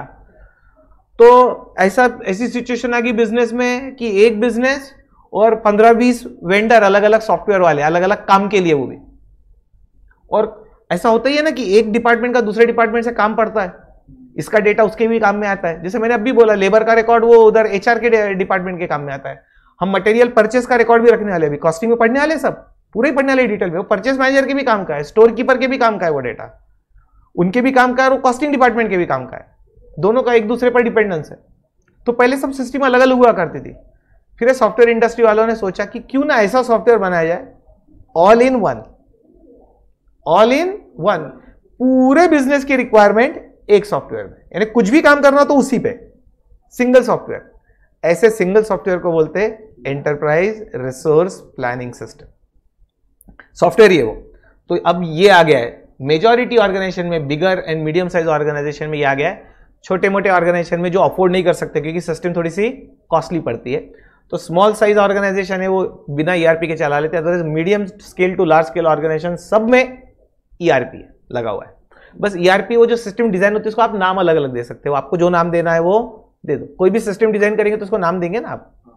ईआरपी ये जेनेरिक नेम है, यानी कॉमन नाम है। फिर आपके लिए सिस्टम डिज़ाइन की आपको जो नाम देना है, आप दे दो। जिसको जो नाम देना है, वो दे देंगे राइट जैसे बॉम्बे स्टॉक एक्सचेंज के लिए जो ईआरपी डिज़ाइन किया है, उसका जो मुझे नाम पता है bolt B O L T Bombay online trading system उसको बोल्ट बोलते बी ओ एल टी ऐसा। एग्ज़ाम्पल तो उसका नाम रख दिया है वो तो। बट जेनरिक नेम क्या है? ईआरपी e चलो आगे चलते the new industrial the new industrial revolution in the form of digital innovation has laid more emphasis on digitization and automation of business process. It helps to have a better control over the cost and to maintain market competitiveness. Market में competitive रहने के लिए आजकल digitisation बहुत जरूरी हो गया है फास्ट होना इंफॉर्मेशन एक्यूरेट होना so that you can take the decision quickly cost accounting system has seen lot of savings in terms of time money and efforts Computerisation से या डिजिटाइजेशन से क्या हुआ? आईटी यूज़ करने से। Your efforts are saved cost is saved the system has become much faster अरे, पहले हमारे ज़माने में आपको शायद उस एक दो दिन पहले तो बोला था, हम हर संडे को लेटर लिखते थे, पंद्रह पैसे का पोस्ट कार्ड और घर पे भेजते थे कि हम ठीक ठाक है। आज की तारीख में? गया मैसेज गया इमीडिएटली ईमेल गया। तो पहले एफर्ट्स ज़्यादा लगते थे कोई भी काम को। आजकल वो एफर्टलेसली हो जाता है। कर लो दुनिया मुट्ठी में। ये मोबाइल के अंदर सब कुछ आ गया ऑलमोस्ट आजकल तो बैंकिंग ट्रांजेक्शन भी यहीं से हो जाती है। हर काम हो जाता है उसमें। बैठे बैठे चलते चलते घूमते घूमते ट्रैवल करते करते ढेर सारे काम निपट जाते तो आसान हो गया सिस्टम एफर्टलेस होते जा रहा है। तो टेक्नोलॉजी का ये कमाल है। कम खर्चे में भी काम हो रहा है और काम आसान हो रहा है। हमने वो सिस्टम में पढ़ा है जिसमें किसी को भी हमसे पढ़ना हो तो पहले पुणे आना पड़ता था। यहाँ आना कंपलसरी था। अब वो ज़रूरत नहीं बची कंपलसरी नहीं है। वैसे सिस्टम वही ज़्यादा अच्छी है इसमें सिंसेरिटी ज़्यादा रहती है। कैसे? आप अभी मोबाइल निकालेंगे तो मैं डांट दूँगा। हम्म। और वही कोई ऑनलाइन घर पे पढ़ रहा है तो? कुछ हो सकता है क्रिकेट मैच भी देख रहा हूँ एक, एक स्क्रीन पे और एक स्क्रीन पे मुझसे पढ़ भी रहा हूँ आधा इधर आधा इधर। वो मैच वाले को तो हारे या जीते पैसे मिलने वाले लेकिन इंस्टीट्यूट की मैच पक्का हारने वाला है। राइट क्योंकि ना तो ये समझ में आएगा पूरा ना वो समझ में आएगा। एनी anyway, सिस्टम आज भी ये ज़्यादा अच्छी है। कौन सी? फ़िज़िकल फेस टू फेस ज़्यादा अच्छी है। लेकिन पहले हर एक को ये कंपल्शन था यहाँ आना पुणे में। अभी वो कंपल्शन नहीं बचा। आप घर बैठ के भी वो देख सकते या इस टाइम पे नहीं देखना हो। जिस टाइम पे मैं पढ़ा रहा हूँ तो आप रिकॉर्डेड लेक्चर आपकी कन्वीनियंस से भी देख सकते। आपको जब देखना हो तब देख सकते। ये किसका कमाल है? टेक्नोलॉजी का। तो कमाल सब जगह, सब फ़ील्ड में कोई फ़ील्ड ऐसा नहीं बचा जिसमें टेक्नोलॉजी का रोल नहीं है। हम अभी बात कर रहे हैं role of technology information technology in costing उसकी बात कर रहे हैं। चलो, आगे चलते हैं। The impact of I T यानी information technology in cost accounting system में इंक्लूड द फॉलोइंग तो कुछ एग्ज़ाम्पल दिए कि आईटी का इंपैक्ट कॉस्टिंग में कहाँ का हुआ। जैसे after the introduction of ERP different functional activities get integrated and as a consequence, a single entry into the accounting system provides custom made reports for every purpose and saves an organization from preparing different sets of documents. ERP से क्या होता है एक बार data enter हुआ system में तो वो डेटा दूसरी बार और किसी को एंटर नहीं करना पड़ता फिर उसी डेटा को यूज़ करके आप अलग अलग तरीके की रिपोर्ट बना के अलग अलग डिपार्टमेंट के लिए यूज़ कर सकते यस डेटा एंट्री एक ही बार होती। अब आपको फैक्ट्री का समझो समझ में नहीं है या मैं लेबर रिकॉर्ड बोल रहा हूँ ना, आपको रखना है कॉस्टिंग में लेबर रिकॉर्ड रखना है, क्योंकि आपको लेबर की कॉस्ट निकाली है। लेकिन ये labour record human resource department के काम में आता है। तो उनको डेटा फिर से एंटर करना पड़ता क्या? नहीं। यही आपने किया हुआ काम, उनको भी जैसी रिपोर्ट चाहिए उनको मिल जाएगा वो।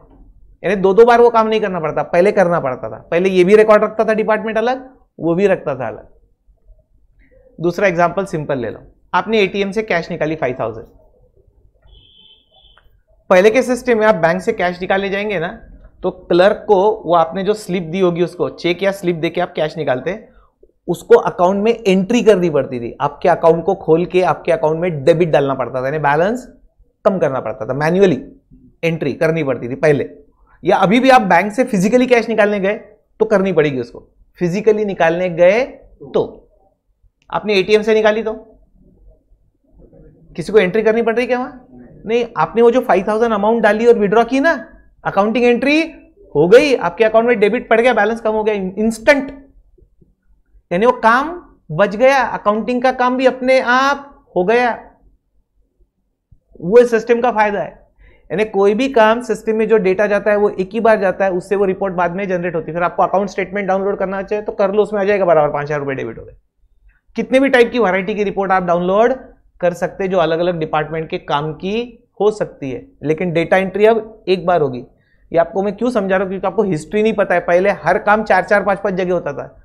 जिसको उस डेटा की ज़रूरत रहती थी, किसी डेटा की ज़रूरत चार डिपार्टमेंट को तो चारों अपना अपना काम करते थे। काम चार बार होता था।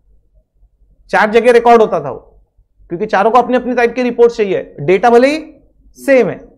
लेकिन उसको अलग टाइप की रिपोर्ट चाहिए, उसको अलग चाहिए, उसको अलग चाहिए, उसको अलग चाहिए। तो चारों को एंट्री करनी पड़ती थी। अब वो ज़रूरत नहीं बची। ये फ़ायदा हुआ उसका। फिर a move towards paperless environment अब हम धीरे धीरे पेपरलेस एनवायरमेंट पे जा रहे हैं ना। Can be seen where documents like bill of material ये सब नए नए नाम। कौन सा? Bill of material material requisition note goods receipt note labour utilisation report etcetera are no longer required to be prepared in multiple copies. The related departments can get e-copy from the system. ये सब documents पढ़ना है। इसमें के जो पहले तीन नाम है ना bill of material material requisition और गुड्स रिसिट नोट ये अगले चैप्टर में आ रहा है। कौन सा? मटेरियल कॉस्ट टॉपिक में। पढ़ना है। और वो लेबर टॉपिक में लेबर यूटिलाइजेशन रिपोर्ट राइट उसको बुक कीपिंग रिकॉर्ड बोलते हैं। टाइम कीपिंग और एक टाइम बुकिंग रिकॉर्ड बोलते हैं तो टाइम बुकिंग रिकॉर्ड है ये सब पढ़ना है। ध्यान रहे, पढ़ाई के लिए सब टाइप के रिकॉर्ड्स हैं आपको, अभी भी। पढ़ना सब है सिस्टम में सब है। पहले ये रिकॉर्ड्स मैन्युअली होते थे। अब ये सब ऑनलाइन हो गए। पेपरलेस हो गए। बस इतना ही फ़र्क पड़ा। लेकिन ये रिकॉर्ड सब हम पढ़ने वाले आगे हैं तो पेपरलेस हो गई ये सिस्टम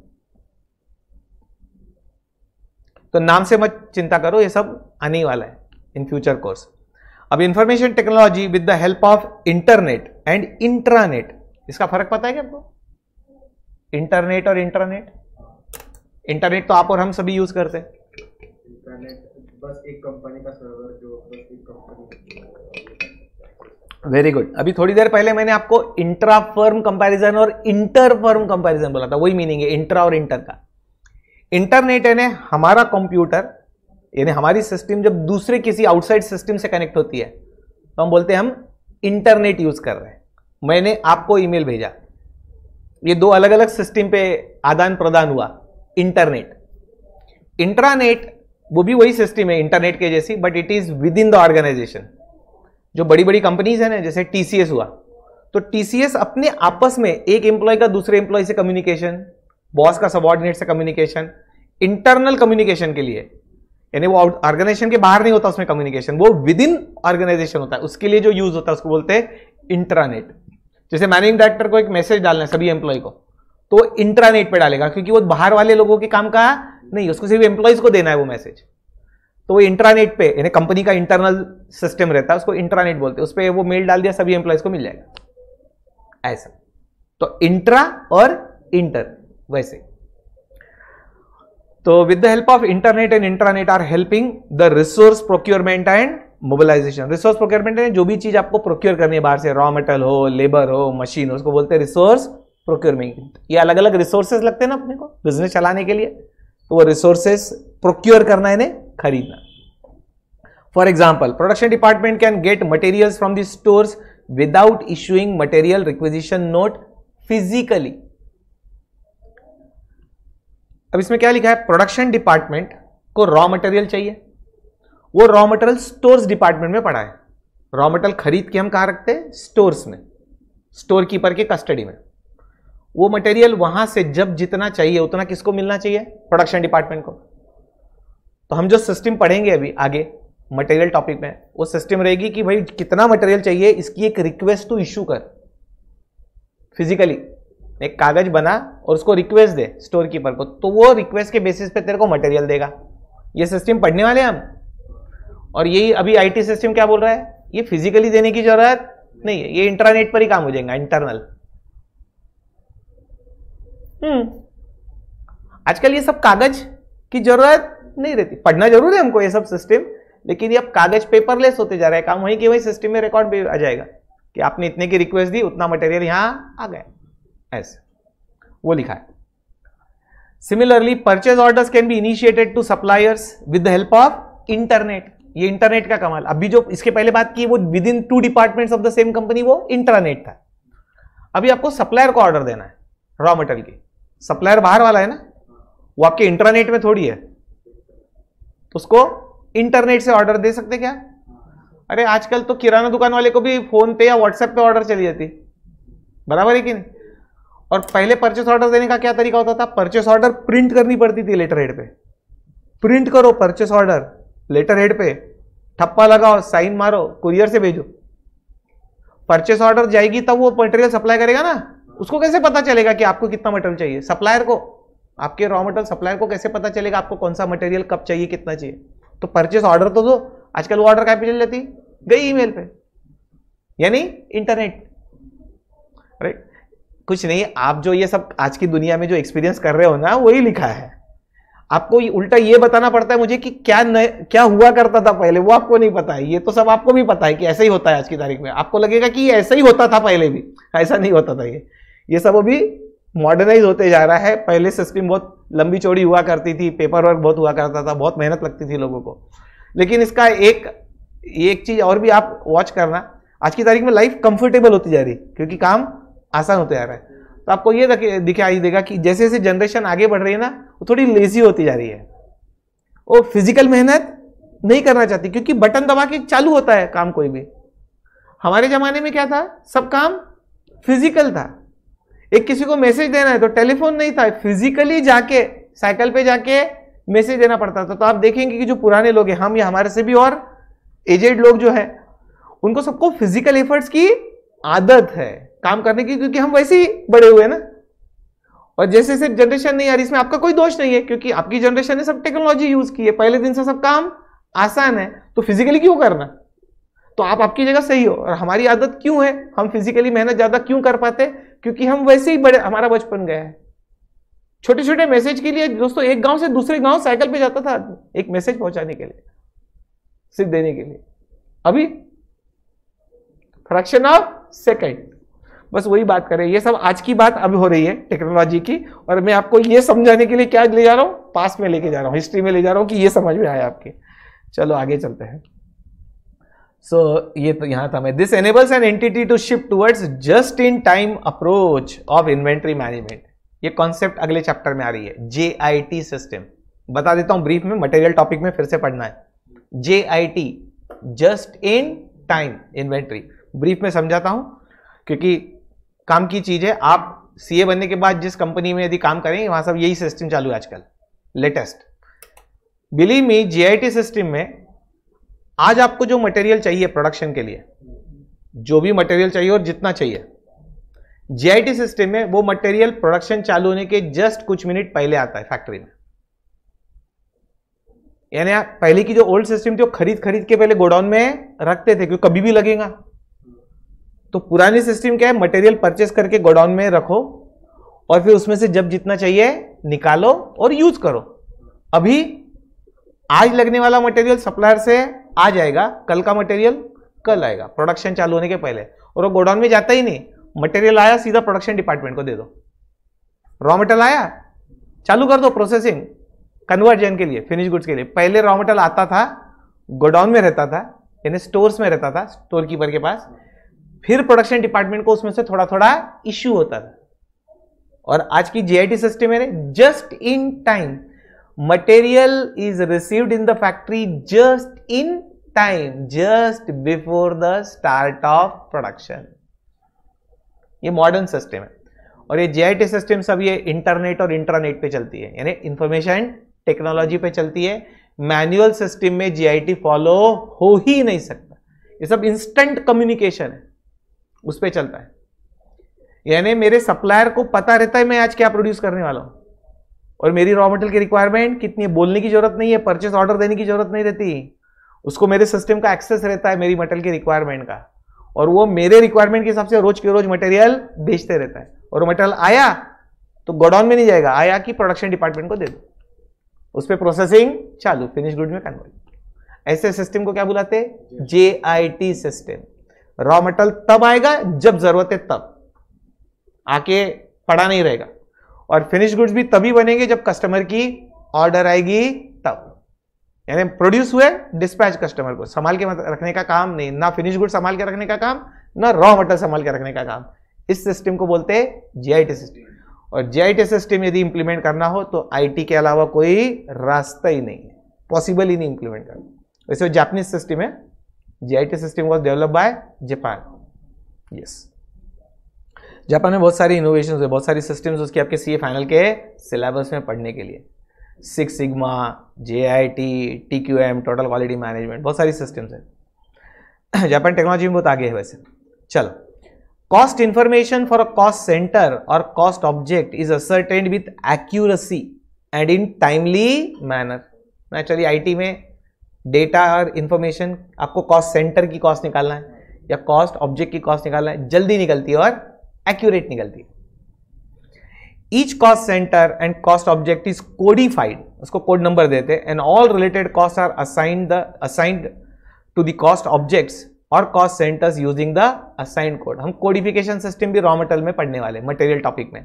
कुछ नहीं कंप्यूटराइज लैंग्वेज में क्या होता है, हर चीज़ को कोड दिया जाता है दोस्तों। एक सिंपल सी बात है तुमको बैंक किस कैसे पहचानती? तुम्हारी हेल्थ हाइट कलर से पहचानती क्या? वज़न से पहचानती क्या? अकाउंट नंबर से पहचानती। Account number is what a code number for you account number is your code number अरे हम इस कंट्री के सिटीजन हैं। ये हमको कहाँ से जाती government Aadhaar card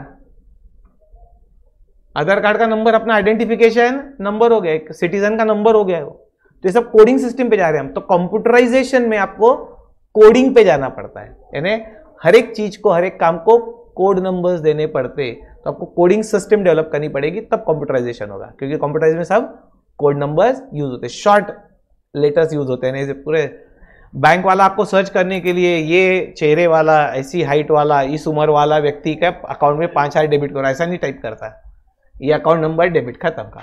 तो अकाउंट नंबर है नहीं कोड नंबर तो कोड नंबर सिस्टम आपको लगेगी। उससे काम फास्ट होता है। So this automates the cost accumulation and ascertainment process. The cost information can be customized as per the requirement. For example, a manager is able to receive the information job wise, batch wise, process wise, cost center wise. आपको जैसी चाहिए वैसी information मिल जाएगी. Then uniformity in the preparation of reports. Fifth point two. Budgets and standards can be achieved with the help of information technology. ERP software plays an important role in bringing uniformity irrespective of the location currency language and regulation just एक छोटा सा example देता हूँ। वैसे ये सब आप पढ़ सकते थे, मुझे पता है। लेकिन एक एग्ज़ाम्पल ले लो। T C S Tata consultancy services company पता है? ये सिर्फ़ इंडिया में ही है? इसकी office branches all over the world है। तो वर्ल्ड में अलग अलग जगह पर अलग अलग लैंग्वेज में भी काम होता होगा और अलग अलग करेंसी में भी होता होगा ना? लेकिन उस कंपनी का हेड ऑफ़िस तो इंडिया में तो यहाँ अकाउंटिंग ईयर एंड होता है तो उसकी एनुअल रिपोर्ट तैयार हो जाती है फटाफट। तो पूरे वर्ल्ड का डेटा सभी ब्रांचेस का डेटा क्योंकि कंपनी तो एक ही है ना तो सभी ब्रांचेस का डेटा तो कंसोलिडेट होता होगा रेवेन्यू एक्सपेंसेस कंसोलिडेट होकर रिपोर्ट निकलती होंगी कि नहीं एनुअल रिपोर्ट कंपनी की रिपोर्ट बोल रहा हूँ मैं। अच्छा आजकल तो क्वार्टरली रिपोर्ट पब्लिश करनी पड़ती है एज पर सेबी रिक्वायरमेंट पहले तो साल में एक ही बार करते थे एनुअल रिपोर्ट आजकल क्वार्टरली रिपोर्ट पब्लिश करना ज़रूरी as per requirement of securities exchange board of India if your share are listed on stock exchange stock exchange में आपके शेयर ट्रेड हो रहे हो तो कंपलसरी रिक्वायरमेंट है क्वार्टरली तो हर क्वार्टर को करना पड़ता हो काम. और वो क्वार्टर एंड के बाद पंद्रह दिन के अंदर रिपोर्ट तैयार होकर पेपर में पब्लिश हो जाती है. दोस्तों, ये यदि मैनुअल रिकॉर्ड पे रहता ना सब? तो ये दस साल में नहीं होता था ये काम, क्योंकि हमने मैनुअल रिकॉर्ड में ऑडिट किया हुआ है. दस साल में नहीं होता था ये काम। पंद्रह दिन में इतने सबका डेटा मर्ज होके, एक करेंसी में कन्वर्ट होके रिपोर्ट रेडी होती। ये ईआरपी e का कमाल है। इंफॉर्मेशन टेक्नोलॉजी का कमाल है। मैं बोल रहा था ना different languages different currencies all get merged right to generate the report आगे लिखा है cost and revenue variance reports are generated on real time basis which enables the management to take control measures immediately कुछ variance की बात की थी मैंने? Variance यानी difference between standard and actual तो सेल्स से रिलेटेड जो वेरियंसेस उसको रेवेन्यू वेरियंसेस बोलते हैं। सेल्स सेल्स की फिगर और जो कॉस्ट से रिलेटेड वेरियंसेस उसको कॉस्ट वेरियंसेस बोलते हैं। इसकी रिपोर्ट आजकल इंस्टेंट जनरेट होती है रियल टाइम बेसिस पे। क्योंकि कंप्यूटराइजेशन इमीडिएट आपको डिफरेंस पता चलता है कि खर्चा इतना होना चाहिए था, इतना हुआ, या रेवेन्यू इतना होना चाहिए था, इतना ही हुआ। उसको बोलते हैं रियल टाइम आपको पता है रियल टाइम बेसिस यानी इंस्टेंट इंस्टेंट आपने यहाँ पैसे निकाले एटीएम से और यहाँ बैलेंस, कम हुआ इंस्टेंट आप ऐसा तो नहीं समझते ना कि अभी दूसरे एटीएम को पता चलने तक पहले वहाँ से भी निकाल लेता पैसे। जैसे निकाले इंस्टेंट उसको रियल टाइम बोलते हैं। तो ये सब डेटा अब रियल टाइम अपडेट होता है और आपको रिपोर्ट्स रियल टाइम बेसिस पे मिलती है। ये क्यों बताया जा रहा है? क्योंकि पहले ऐसा नहीं होता था। पहले स्टैंडर्ड कॉस्टिंग लगानी हो तो समझो क्वार्टर एंड पे आपने बुक्स क्लोज करने पड़ते थे, फिर वो रिपोर्ट्स बनती थी। रिपोर्ट बनने को पंद्रह दिन, फिर एक्शन लेने को और पंद्रह दिन। अब ये सब इंस्टेंट फिर it enables the an entity to monitor and analyse each process of manufacturing और service activity closely to eliminate non value added activities ये भी एक इंपॉर्टेंट चीज़ है। इसको और ज़्यादा हम पढ़ने वाले एक चैप्टर है आपके इसमें, पहले ही वॉल्यूम में। प्राइम कॉस्ट एंड ओवरहेड जो है ना तो उसमें ओवर कैलकुलेट करने का और एक तरीका है। उसका नाम है एक्टिविटी बेस्ड कॉस्टिंग सिर्फ़ सुन लो, वो चैप्टर एक एक्टिविटी बेस्ड कॉस्टिंग ओवर का ही दूसरा रूप है। यानी ओवर में कवर्ड है प्राइम कॉस्ट एंड ओवर तो ओवर कैलकुलेट करने का एक तरीका एक्टिविटी बेस्ड कॉस्टिंग उसमें ये हम डिटेल में पढ़ेंगे। और वो क्या चीज़ है ब्रीफ में बता रहा हूँ?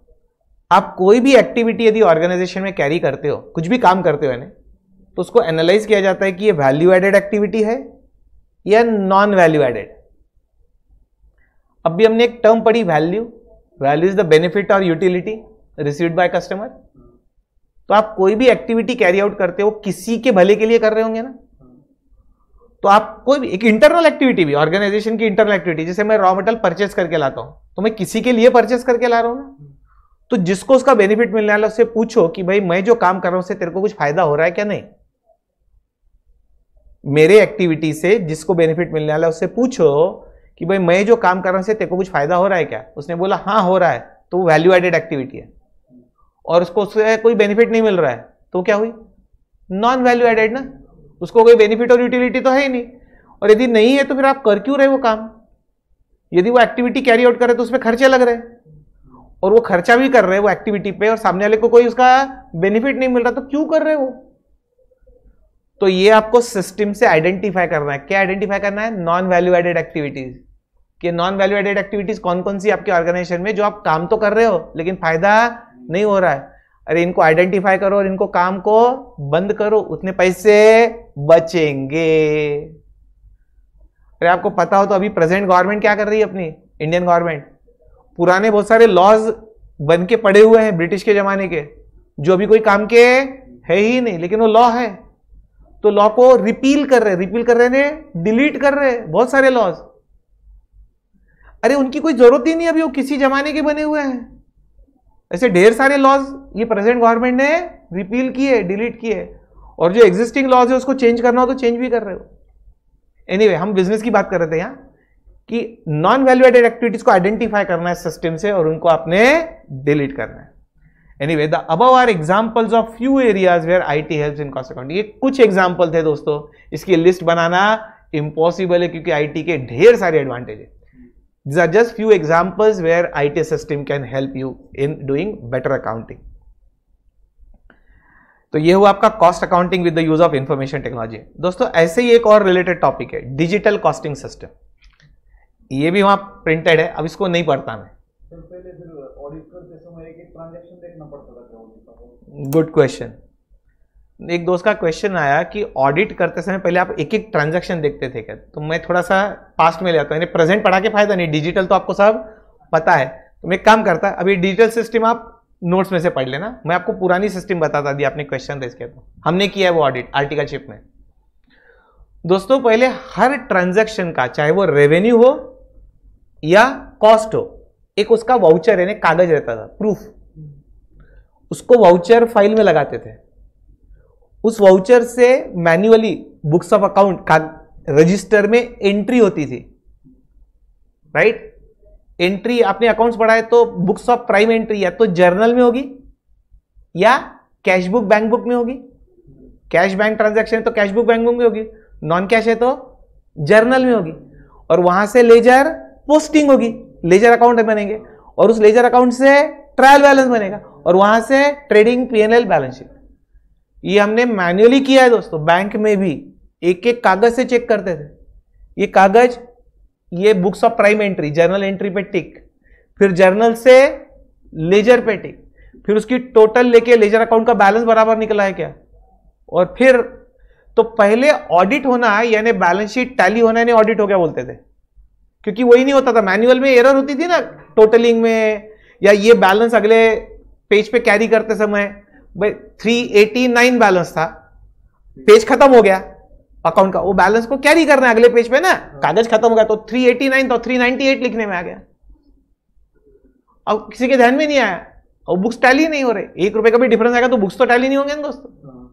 एक वाउचर ही छूट गया घूम गया फ़ाइल में से निकल गया। तो एंट्री ही नहीं हुई। एक परचेस किया राइट उसका बिल आया इनवॉइस और वो कहीं से निकल गया फ़ाइल में से। वो कागज़ ही निकल गया तो एंट्री कहाँ से होंगी ना उसकी?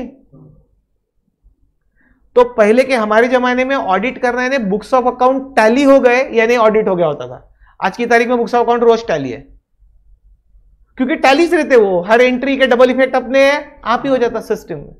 तो आजकल बुक्स ऑफ़ अकाउंट टैली करना काम नहीं बचा है। अब वो सही है क्या गलत हो रहा है? वो चेक करना इसलिए मैंने कोर्स किया आपको बताया ना इंफॉर्मेशन सिस्टम्स ऑडिटर उसी लिए आया कि जो सीए पास हो चुके थे पुराने लोग, तब ये टेक्नोलॉजी वाला सब्जेक्ट नहीं था ना हमको।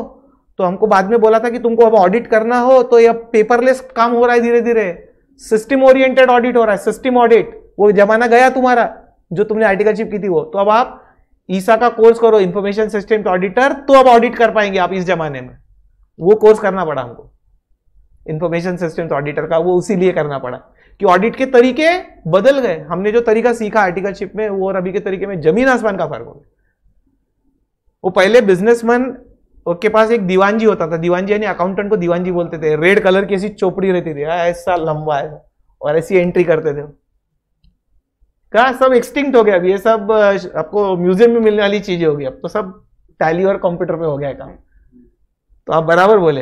ये हमने सब किया हुआ है, आपने तो देखा भी नहीं और सुना भी नहीं। इसलिए मुझे आपको लेटेस्ट पढ़ाने की जगह क्या पढ़ाना पड़ेगा? कभी कभी हिस्ट्री तो आपको कंपैरिजन करते आएगा। अच्छा ऐसा भी होता था। अभी का तो आपको पता ही है। एनीवे तो मैं एक काम कर रहा हूँ फिर। आईटी और ये ऑलमोस्ट सिमिलर है। डिजिटल कॉस्टिंग सिस्टम इसमें सिर्फ़ इतना ही बोला है डिजिटल कॉस्टिंग सिस्टम है कि अब धीरे धीरे सब डेटा डेटा डिजिटाइज हो रहा है। यानी कुछ नहीं पेपर लेस हो रहा है। सब काम धीरे धीरे पेपरलेस होते जा रहा है डिजिटाइजेशन होते जा रहा है। So your costing system is also now getting digitise यानी आईटी से रिलेटेड ही तो लेकिन उसको इंस्टीट्यूट के मॉड्यूल में अलग से लिखा हुआ है डिजिटल कॉस्टिंग सिस्टम ये पेज 1.14 पे प्रिंटेड है। अब इसको पढ़ूँगा तो आपको भी बोर होगा और मुझे भी बोर होगा। और ये सब सिस्टम आज के जमाने के आपके लोगों को ऑलरेडी पता है। तो मैं आगे ले चलता हूँ, इसको पढ़ने की जगह। अब हम चलते हैं मल्टीपल चॉइस क्वेश्चंस पे दोस्तों एमसीक्यूज जो कि प्रिंटेड है पेज 1.15 पे, और मैं स्क्रीन पर भी वो क्वेश्चन लगा दूँगा। आप भी पेज 1.15 खोल दो, और पेंसिल हो आपके पास तो ले लो। पेंसिल इसलिए पहले आपको जो अच्छा लगे मल्टीपल चॉइस क्वेश्चन में, चार चॉइसेस दी है आपको जो अच्छी लगे पहले आप टिक कर दो। फिर मैं आंसर देने वाला हूँ आपको। यदि गलत हो गया तो क्या कर सकते हैं आप? इरेजर भी होंगे आपके पास। मैंने बोला था इंस्ट्रूमेंट बॉक्स लगेगा तो इरेज करके सही वाली टिक लगा देना। या मन में सोच के रखो समझो आंसर फिर मैं जो आंसर दूँ, वो टिक लगा देना वहीं पर। एग्ज़ाम में लिख के आना आंसर अभी तो हम क्या कर रहे हैं क्वेश्चन पर ही टिक लगा के काम बचा रहे तो मैं आपको एमसीक्यूज पे ले चलता हूँ पहले, दूसरी स्लाइड पे।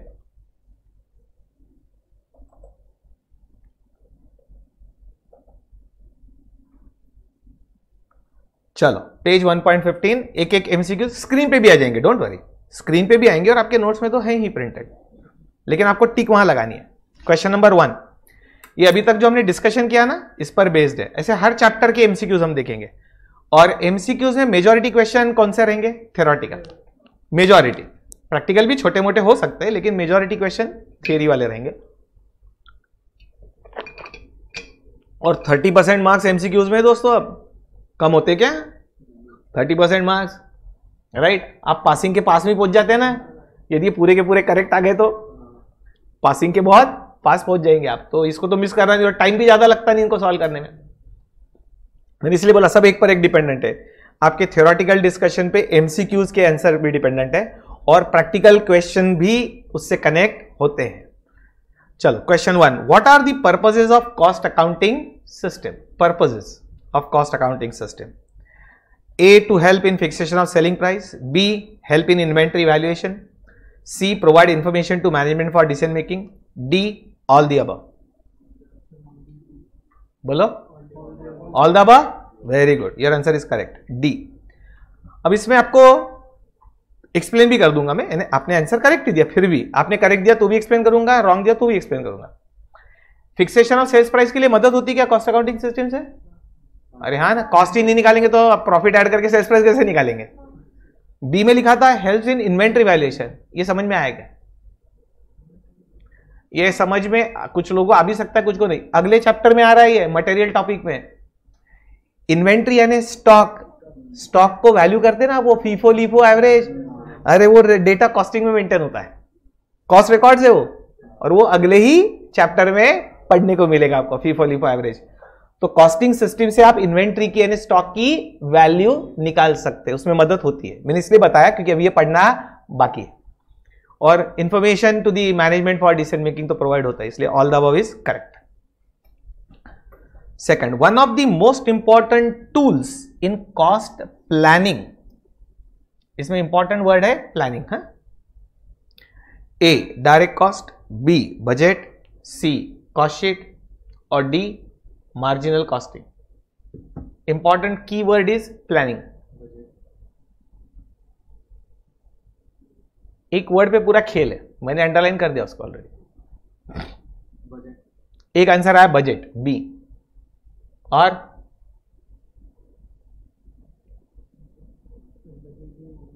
बराबर आंसर करेक्ट है बी अरे दोस्तों प्लानिंग फ्यूचर का होता है क्या पास्ट का होता है?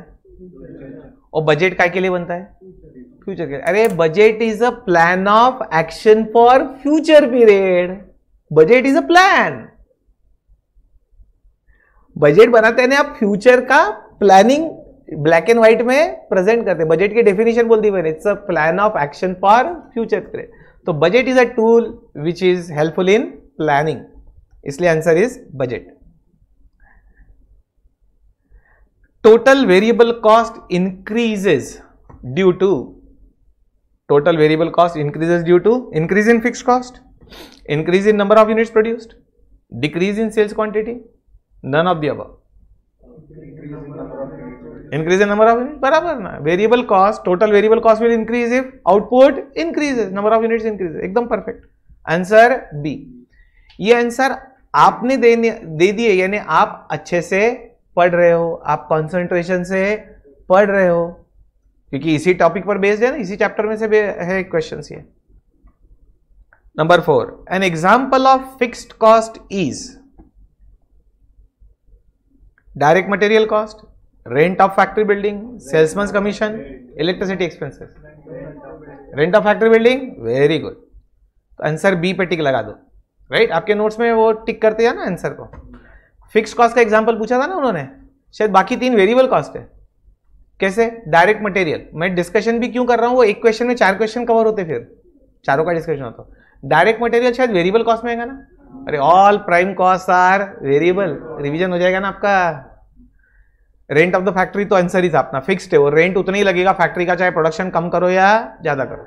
सेल्समैन का कमीशन कमीशन जितना सेल होगा, उतना। तो तो वेरिएबल हो गया। हमको कौन सा चाहिए था? फिक्स्ड और इलेक्ट्रिसिटी एक्सपेंस भी जितनी कंज्यूम करेंगे उतना लगेगा। ज़्यादा कंजम्पशन हुआ तो ज़्यादा बिल आएगा। इसलिए वो भी वेरिएबल है।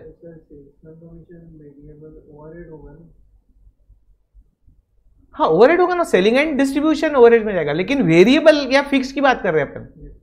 अपन अभी बात क्या की कर रहे हैं? वेरिएबल या फिक्स अपन प्राइम कॉस्ट या ओवरहेड्स की बात नहीं कर रहे। वो भी करेंगे थोड़ी देर बाद।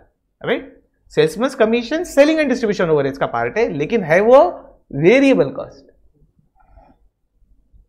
dash dash is anything for which a separate measurement of cost is required A cost unit B cost object C cost driver D cost centre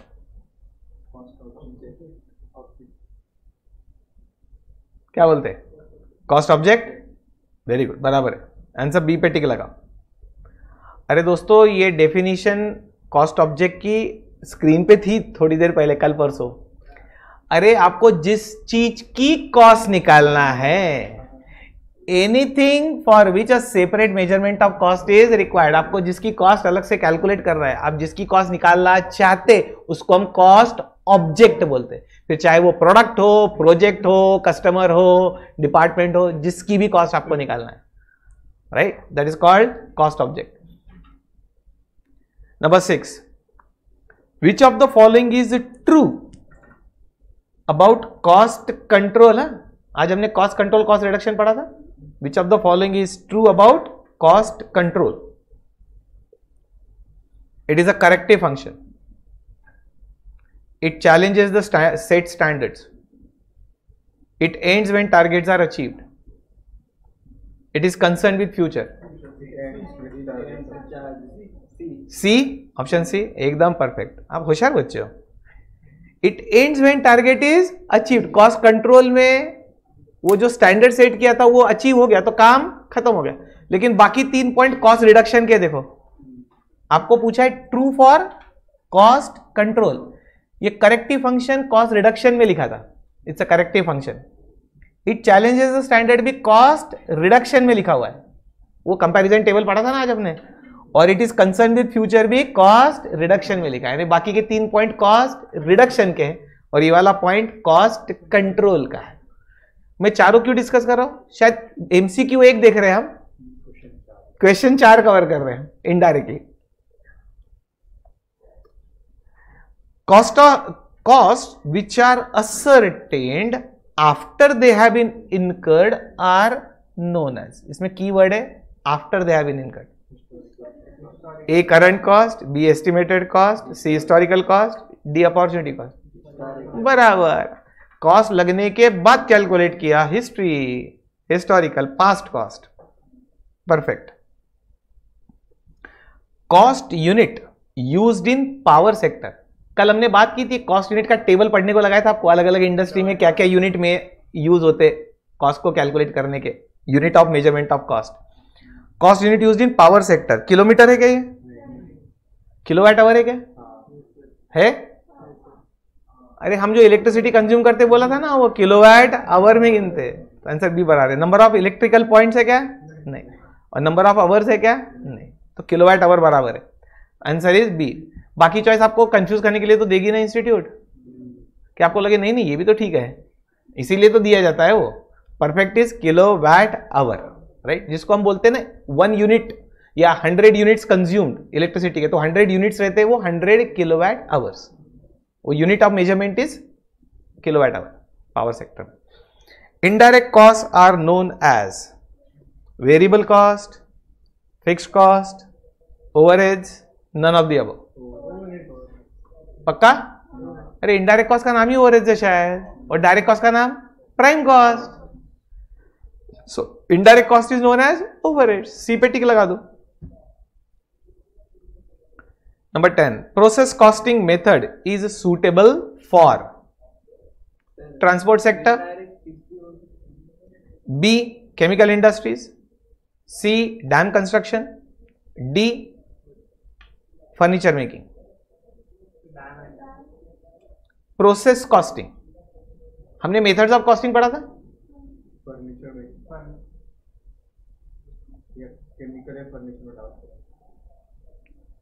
अब इसके लिए क्या लगेगा आपको? इमेजिनेशन अलग अलग इंडस्ट्री का। अलग अलग इंडस्ट्री का इमेजिनेशन लगेगा। और इसके लिए मैंने आपको बोला था यूट्यूब पे वीडियो कभी देखना फैक्ट्री मेड में। इमेजिनेशन लगेगा। अब सभी डिस्कस कर लेते हैं। ट्रांसपोर्ट सेक्टर सर्विस कॉस्टिंग में आता है। सर्विस कॉस्टिंग यानी ऑपरेटिंग कॉस्टिंग केमिकल को बाजू में रखता हूँ। डैम कंस्ट्रक्शन शायद कॉन्ट्रैक्ट कॉस्टिंग में आता है। Dam construction contract costing furniture making दो टाइप के हो सकते हैं। रेडीमेड फर्नीचर अलग और टेलर मेड अलग। टेलर मेड रहा तो job costing made as per the requirement of customer और यदि रेडीमेड रहा तो उसके लिए बैच कॉस्टिंग यूज़ होता है एक्चुअली उसके कंपोनेंट पार्ट्स बना के असेंबल किए जाते हैं बैचेस राइट किसकी बात कर रहा मैं? रेडीमेड फर्नीचर की, जो पहले से बना के रखा जाता है। कस्टमर के रिक्वायरमेंट के हिसाब से नहीं। और कस्टमर के रिक्वायरमेंट के हिसाब से बना के दिया तो जॉब तो कौन सा बचा? है केमिकल। अरे मैंने बोला था ना chemical stage step by step. Processing industry का पार्ट है वो एक से दूसरी दूसरी से तीसरी प्रोसेस में जाके वो केमिकल बनता है। एनीवे anyway, अब मैंने ये आपके लिए और मेरे लिए भी क्यों डिफ़िकल्ट है क्योंकि इनको मैन्युफैक्चरिंग इंडस्ट्री का एक्सपीरियंस कम है राइट right? लेकिन आपको थोड़ा सा इमेजिनेशन करना पड़ेगा क्योंकि costing is closely linked to manufacturing तो जितना आपको नॉलेज गेन कर सकते होंगे मैन्युफैक्चरिंग इंडस्ट्री का आपने करना है। आंसर इज़ बी इसमें आपको एक सजेशन और भी दे दूँ। आपके कोई रिलेटिव्स फ्रेंड्स फादर अंकल जो भी, कोई पहचान के हैं और वो किसी मैन्युफैक्चरिंग इंडस्ट्री में यदि काम कर रहे हैं और आपके पास भी और उनके पास भी टाइम है तो उनके साथ एक बार फैक्ट्री विज़िट करना और देखना जरा काम कैसे होता है। उससे बहुत सारा नॉलेज गेन होगा आपको प्रैक्टिकल एक्सपोजर मिलेगा आपको मैन्युफैक्चरिंग इंडस्ट्री का। वो एक अपने आप में एक फैक्ट्री विज़िट अपने आप में एक मज़ा है। लेकिन उसके लिए पहचान लगती है ना किसी को भी थोड़ी आने देते हैं अंदर गेट से। तो आपको किसी की पहचान के थ्रू जाना है, कभी भी काम पड़ जाए छोटा मोटा यूनिट क्यों ना हो? छोटी मोटी चीज़ क्यों ना आ रही किसी की राइस मिल है छोटी सी या आटा चक्की, उधर भी कुछ तो भी हो रहा है मशीन से। तो उसको केयरफुली ऑब्ज़र्व करो। आपको पता चलेगा कि वहाँ कुछ काम हो रहा है। How the work is done तो कोई भी अपॉर्चुनिटी आपने छोड़ना नहीं मैन्युफैक्चरिंग इंडस्ट्री का एक्सपीरियंस लेने की फिजिकली भी और यूट्यूब पे भी। 11 sales price of a product is an opinion a policy decision a fact none of the above policy decision हमने शायद बात की थी ना? It's a price is a decision cost is a fact value is a opinion तो आपका answer बराबर है। Answer is B policy decision correct number twelve which of the following is not a method of costing not a method of costing standard costing process costing contract costing और operating costing और हमको क्या होना which is not a method method नहीं होना। Standard costing correct है आपका answer अरे standard costing is a technique standard costing marginal costing budgetary control three are prominent techniques हैं। और जो अपने को क्या चाहिए था which is not a method क्योंकि बची हुई तीन तो मेथड है शायद process costing contract costing operating costing है service costing these are all methods अरे लिस्ट पढ़ी ना पूरी अपन ने मेथड्स ऑफ़ कॉस्टिंग की और टेक्निक्स ऑफ़ कॉस्टिंग की। मैं यही तो बोल रहा हूँ, आपने कितने अच्छे से उसको पढ़ा और यहाँ रखा, वो समझ में आएगा एमसीक्यू से। तो स्टैंडर्ड कॉस्टिंग अपना आंसर क्यों है? क्योंकि वो टेक्निक है, वो मेथड नहीं है। Thirteen which of the following is not an explicit cost negative question है नॉट एन एक्सप्लिसिट कॉस्ट हमने एक्सप्लिसिट और इंप्लिसिट कॉस्ट पढ़ी थी? कल पढ़ी थी। कुछ याद आ रहा है क्या? खर्चा तो कुछ हज़ारों में लगता है।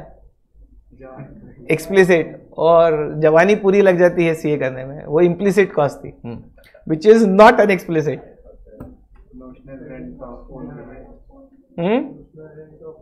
notional rent of own premises ये तो कल एग्जांपल ही दिया था मैंने। इम्प्लिसिट कॉस्ट है ये। ये कॉस्ट इम्प्लिसिट है ना? इम्प्लिसिट है या नहीं? नॉट एन एक्सप्लिसिट तो आपका आंसर डी करेक्ट है। आंसर डी पे टिक लगा दो, लेकिन इसमें एक क्वेश्चन पूछना है मुझे आपसे, क्योंकि उसमें कुछ डिस्कशन है। इसी पे रहो। ये डिप्रीसिएशन इंप्लिसिट क्यों नहीं?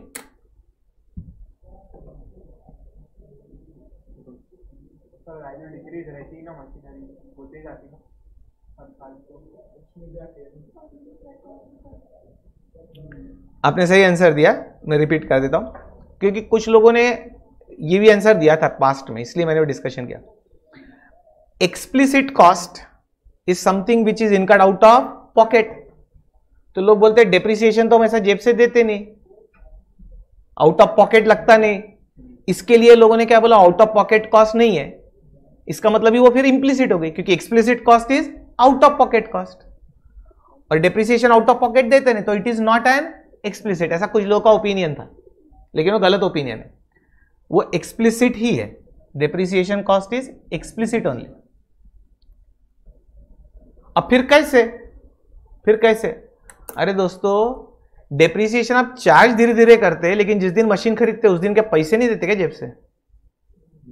अरे टेन लाख की मशीन परचेस की थी, जब जेब से पैसे गए थे, सिर्फ़ वो मशीन की लाइफ दस साल है। तो पूरा खर्चा एक साल में कैसे चार्ज करूँ मैं? यदि लाइफ दस साल है तो उसको दस साल में अमोर्टाइज नहीं करूँगा? धीरे धीरे चार्ज नहीं करूँगा? तो अमोर्टाइज करने को तो डेप्रिसिएशन बोलते हैं आप। तो दस लाख खर्चा लगा है जेब से, सिर्फ़ उसका उसका जो बेनिफिट है वो दस साल मिलने वाला है। दस लाख का, इसलिए वो दस साल में डिवाइड किया गया है। One tenth one tenth one tenth बराबर? तो वो एक्सप्लिसिट ही आउट ऑफ़ पॉकेट ही कॉस्ट है। Only spread over the useful life और दूसरी बात एक्सप्लिसिट कॉस्ट अकाउंटिंग के लिए काम में आती है। एक्सप्लिसिट डेप्रिसिएशन का अकाउंटिंग करते आप। इंप्लिसिट कॉस्ट का अकाउंटिंग नहीं होता है। इंप्लिसिट कॉस्ट सिर्फ़ डिसीज़न मेकिंग के काम में आती है। ऐसा कल पढ़ा था हमने। तो डेप्रिसिएशन अकाउंटिंग में भी यूज़ होता है। तो एक्सप्लिसिट कॉस्ट अकाउंटिंग में यूज़ होती है। इंप्लिसिट नहीं होती। इसलिए डेप्रिसिएशन आंसर नहीं है। मैंने क्यों नहीं है समझाया इनडायरेक्टली कि आपके दिमाग में डाउट ना रहे। Fourteenth which of the following are also known as imputed cost opportunity cost implicit cost notional cost all the पक्का ऑल the above? होशियार बच्चे ध्यान से पढ़ रहे हो कल शायद ये सब नाम देखे थे हमने क्या के इम्प्लिसिट कॉस्ट के ही नाम है सब implicit cost imputed cost opportunity cost notional cost सब एक ही है ऑल दी अबव तो answer D all the above पर टिक कर दो. That is correct answer number 15 which of the following are essentials of a good costing system आज का discussion essentials of good costing system आज list पढ़ी ना हमने? It should be flexible and adaptive it should be accurate and authentic it should be informative and simple चलिए all दिया सभी होना चाहिए भाई. तो ये अच्छी कहलाएगी वो। तो all the above correct answer है। तो आंसर इज़ डी टिक लगाते जा रहे हैं ना? Distinction between direct cost and indirect cost is an example of dash dash classification distinction between direct indirect cost is what type of classification by elements by function by controllability by variability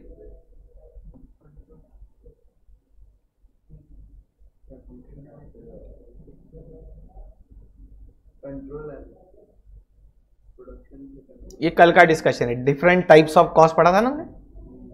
different types of cost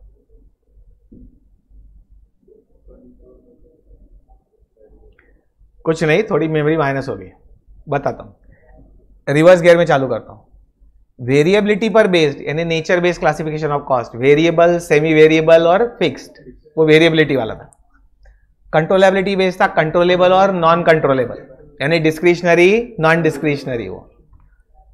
functional classification यानी management के अलग अलग function रहते हैं ना production function sales function purchase function हमने बोला था राइट right? तो production cost selling cost distribution cost research and development cost उसको बोलते हैं हम फंक्शनल क्लासिफिकेशन अब element wise classification of cost में तीन थे मटेरियल लेबर और एक्सपेंसेस शायद इन्हीं को हमने डायरेक्ट इनडायरेक्ट में बाइफरकेट किया था ना? सबसे पहला लेक्चर मटेरियल लेबर एक्सपेंसेस इसके हमने क्या किए थे? दो पार्ट डायरेक्ट और इनडायरेक्ट ये फंक्शनल क्लासिफिकेशन का डायरेक्ट इनडायरेक्ट किया था आपने। और डायरेक्ट डायरेक्ट को नाम दिया था प्राइम कॉस्ट इनडायरेक्ट इनडायरेक्ट को नाम दिया था ओवर तो डायरेक्ट इनडायरेक्ट क्लासिफिकेशन आप किसका करते? हैं functional sorry element wise classification of cost का करते। ध्यान में आया? टेबल राइट कुछ नहीं, याद दिला दिया, कोई बात नहीं। तो आंसर इज़ ए अब एक क्वेश्चन इसने पूछा था, वो रिपीट कर देता हूँ। वो क्वेश्चन था कि ओवरहेड्स फिक्स्ड हो सकते क्या? क्यों नहीं हो सकते? ओवरहेड्स के दो पार्ट किए थे मैंने शायद। ओवरहेड्स में से कुछ वेरिएबल भी हो सकते, कुछ फिक्स भी हो सकते, ऐसा बोला था शायद मैंने। तो ये दिमाग में नहीं आना चाहिए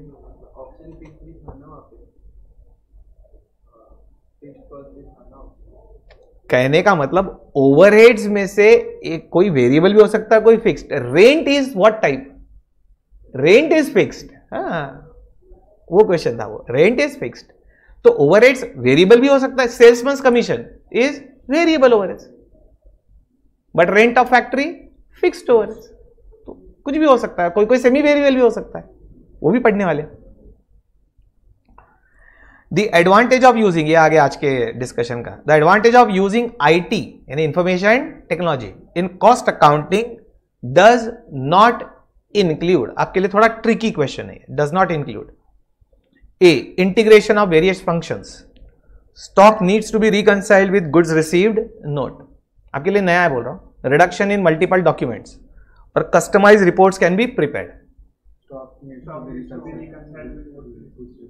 does not होना, है एडवांटेज डज नॉट इंक्लूड आप फाउंडेशन का नॉलेज यूज़ कर सकते हैं इसमें से कौन सा एलिमिनेशन बोलते हैं ना आपने कौन सा आंसर दिया बी तो आंसर बी करेक्ट है, लेकिन मैं डिस्कशन करूँगा उस पर क्योंकि बी का मतलब पूरा नहीं समझे आपको।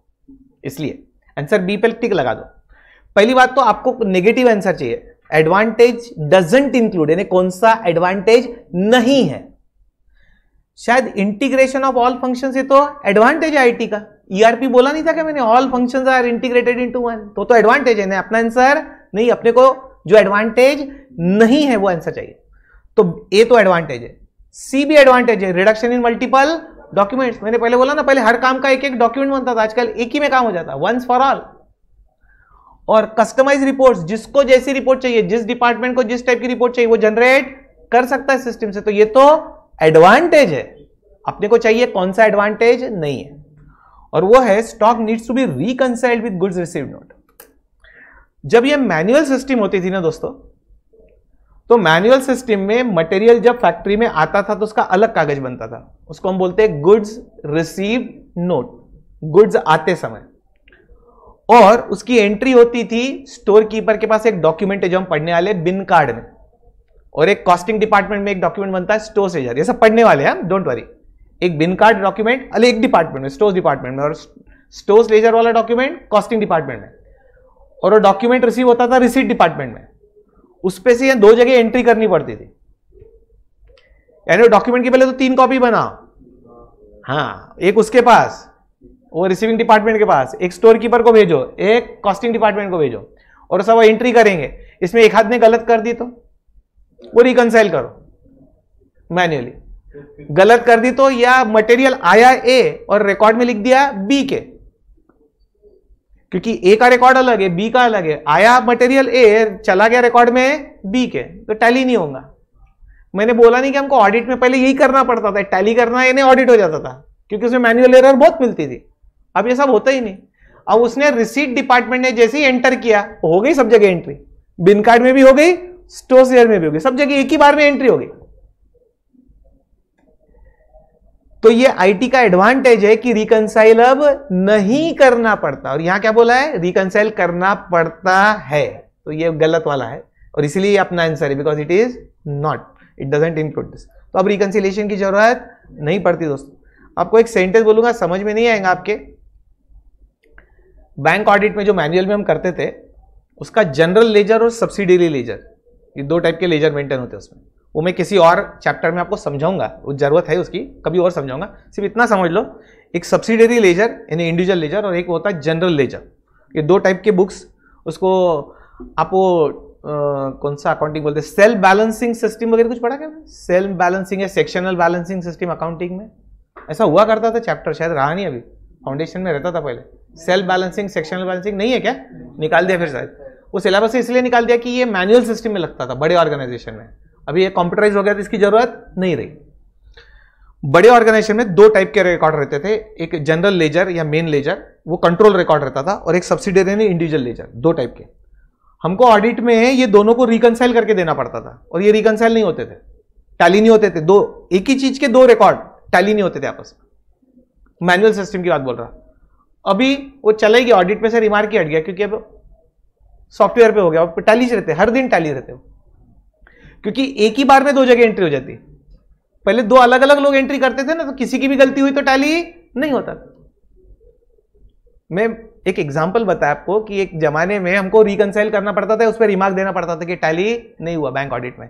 अब वो प्रॉब्लम नहीं आता है। अब ये रिकनसिलेशन की ज़रूरत पड़ती नहीं इंफॉर्मेशन टेक्नोलॉजी में। और यहाँ क्या लिखा है?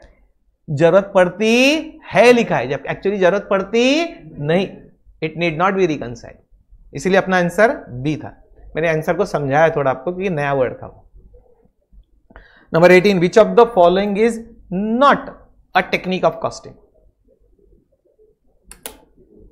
not a technique होना।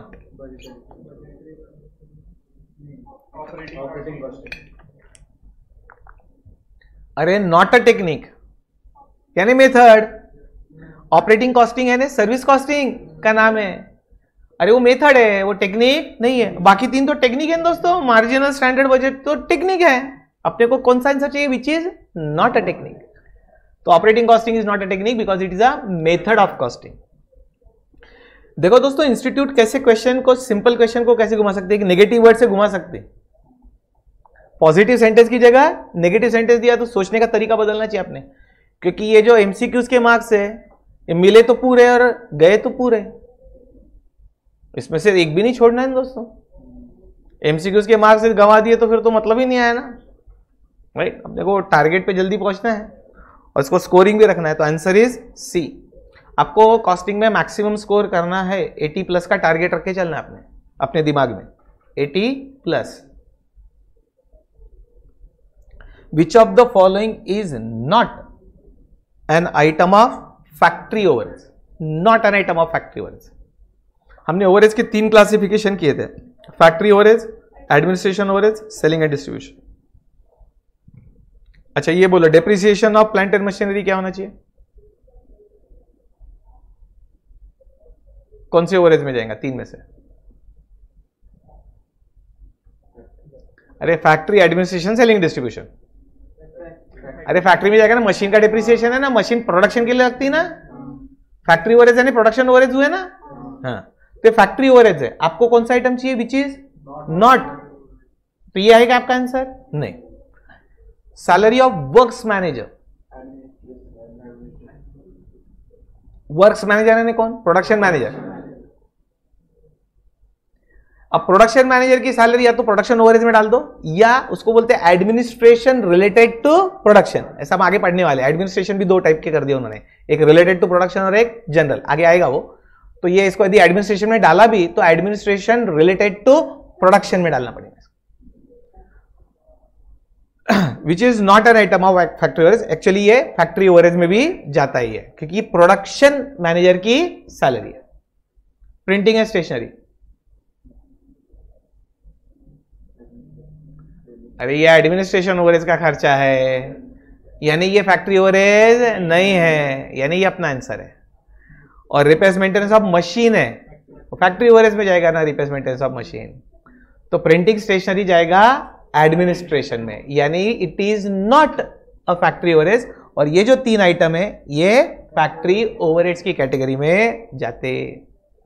तो अपना आंसर सी था।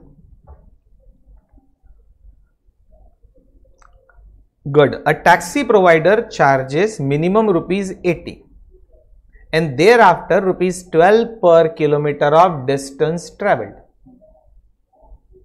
the behaviour of this travelling cost is perfect semi variable बोला ना आपने? क्योंकि ये फिक्स्ड अमाउंट है, जो चार्ज करेगा मिनिमम और 12 पर किलोमीटर जितना ट्रैवल करेंगे उतना नहीं, एक पार्ट फिक्स्ड एक पार्ट वेरिएबल तो इसको हम बुलाते हैं semi variable cost answer B is correct very good आप मेजोरिटी क्वेश्चन के आंसर सही दे रहे हैं. A limited has three production departments company में ए लिमिटेड में तीन डिपार्टमेंट है प्रोडक्शन डिपार्टमेंट अब तीन प्रोडक्शन डिपार्टमेंट है अलग अलग डिपार्टमेंट में अलग अलग काम हो सकता है ना दोस्तों? प्रोडक्शन डिपार्टमेंट ए में कुछ काम हुआ बी में कुछ काम हुआ सी में कुछ तो प्रोडक्शन करने वाले से तीन अलग अलग डिपार्टमेंट है. And each department has two two machine her department में दो दो मशीन इंस्टॉल्ड है. No which of the following cannot be treated as cost centre can not be treated as cost centre कल हमने रिस्पॉन्सिबिलिटी सेंटर चार type के पढ़े थे, याद हो तो? Cost centre revenue centre profit centre और इन्वेस्टमेंट सेंटर याद आया? आपको क्या ढूंढना है? Which is not a cost centre logically ढूंढना है ये। क्वेश्चन कैसे रेडीमेड आंसर नहीं है कि आपको रटवा के भेज दो और एग्ज़ाम में लिख दो। सोचना है और लिखना है। ये टॉपिक मैंने आपको पहले ही बोला कॉस्टिंग इज़ वेरी लॉजिकल मैं लॉजिक्स बताऊँगा, दिमाग आपने चलाना है। Which is not a cost centre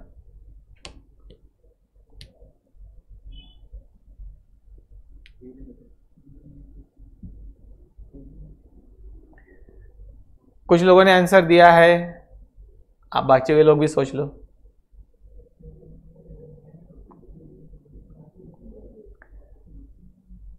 यदि आपने ए लिमिटेड सोचा है, कुछ लोगों ने दिया है तो करेक्ट है। आंसर डी पे टिक लगाओ, फिर डिस्कस करेंगे। क्यों क्योंकि कंफ्यूजन है। ए में क्या लिखा है? मशीन्स अरे मशीन पे खर्चा ही लगता है दोस्तों से मशीन इलेक्ट्रिसिटी कंज्यूम करेगी रिपेयर मेंटेनेंस लगेगा, उस पर डिप्रिसिएशन लगेगा उसका तो सब खर्चे ही तो लगने वाला उस पर तो खर्चे वाले सेंटर को क्या बोलते हैं हम? कॉस्ट सेंटर बी में लिखा है प्रोडक्शन डिपार्टमेंट प्रोडक्शन डिपार्टमेंट भी खर्चा ही लगता सिर्फ़। क्या रेवेन्यू जनरेट होता है? रेवेन्यू तो सेल्स डिपार्टमेंट जनरेट करता है। तो प्रोडक्शन डिपार्टमेंट भी क्या हुआ? कॉस्ट सेंटर फिर मशीन्स और प्रोडक्शन डिपार्टमेंट दोनों ही कॉस्ट सेंटर है। आप चाहो तो मशीन की भी कॉस्ट निकाल सकते हैं एक एक मशीन की, या पूरे डिपार्टमेंट में कितना खर्चा लगा प्रोडक्शन डिपार्टमेंट में, वो भी निकाल सकते हैं। अब ए लिमिटेड ये तो पूरी कंपनी है। ये कंपनी तो रेवेन्यू भी जनरेट करती है और खर्चा भी लगता है। तो ए लिमिटेड प्रॉफिट सेंटर भी हो सकता है और इन्वेस्टमेंट सेंटर भी हो सकता है।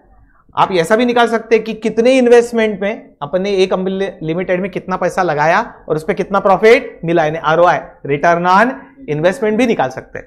तो A limited can be a profit centre also as well as investment centre also तो वो अपना आंसर अपने को क्या चाहिए था? Which is not a cost centre so A limited is not a cost centre it's it's a profit centre या investment centre इसलिए आंसर डी था।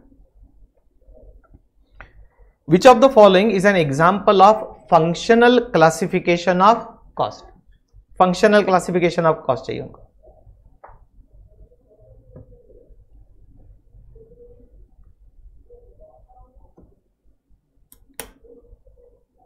confused example of functional classification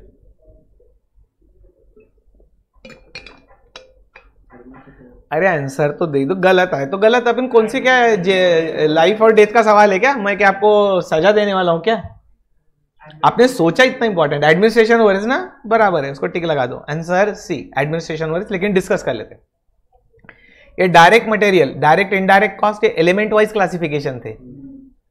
फिर फिक्स्ड कॉस्ट ये variable nature wise cost variable fixed administration and function wise administration cost selling cost distribution cost production cost ये functional classification हुआ और indirect labour भी, वो element wise ही हुआ direct indirect वाला।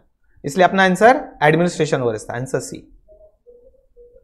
ticket counter of a railway station is an example of आप railway station पे जाते होंगे तो टिकट काउंटर रहता है जहाँ से टिकट खरीदते प्लेटफॉर्म टिकट या किसी स्टेशन पे जाने का टिकट करंट टिकट तो ticket counter of a railway station is an example of cost centre revenue centre profit centre investment centre बराबर। टिकट काउंटर मेनली क्या जनरेट करता है? रेलवे के लिए रेवेन्यू जनरेट करता है। सेल होता है टिकट का तो रेवेन्यू जनरेट होता है। तो वो रेवेन्यू सेंटर है। Very good answer is B अब हम एक इंटरेस्टिंग क्वेश्चन पे चल रहे हैं। ट्वेंटी फोर नंबर के। आपके नोट्स में देख लो।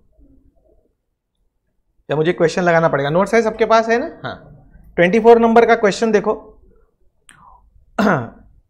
क्योंकि इधर तो आंसर आएँगे। मैं यहाँ से, मेरे पास भी नोट्स उसमें से पढ़ रहा हूँ। उसमें लिखा है क्वेश्चन 24 में below is given a list of industries and also the methods of costing and cost unit please write the correct number of the method of costing and cost unit against each industry बाद में मैं screen पे भी वो question लगा दूँगा। तो उसमें कॉलम दिया आपको, एक इंडस्ट्री एक मेथड ऑफ़ कॉस्टिंग और एक कॉस्ट यूनिट और नीचे मेथड्स ऑफ़ कॉस्टिंग की लिस्ट है और यूनिट ऑफ़ कॉस्ट की। जब तक मैं उसको क्वेश्चन को भी स्क्रीन पे लगाने की कोशिश करता हूँ।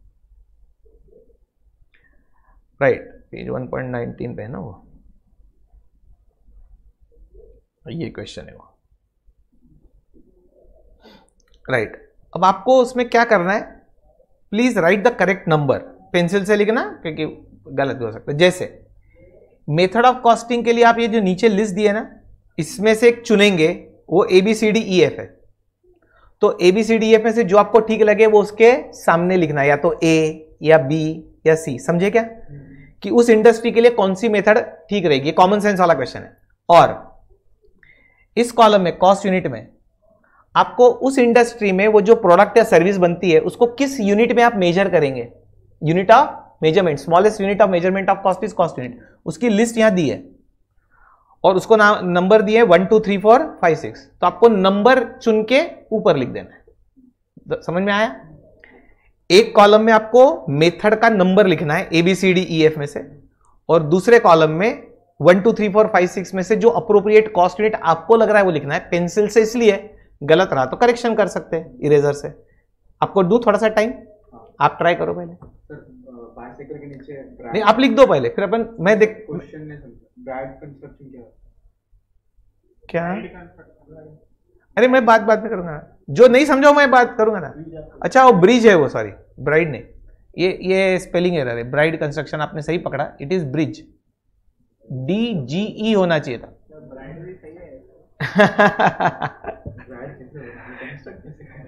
ब्रिज था वो। उसमें का वर्ड जी डिलीट हो गया। तो ब्राइड कंस्ट्रक्शन हो गया इंस्टेड ऑफ़ ब्रिज कंस्ट्रक्शन तो वो करेक्शन करना पड़ेगा। वो मैं अगले कॉपी में उसको करेक्ट करूँगा आपने ध्यान से पढ़ा, अच्छी बात है। ब्रिज कंस्ट्रक्शन है वो।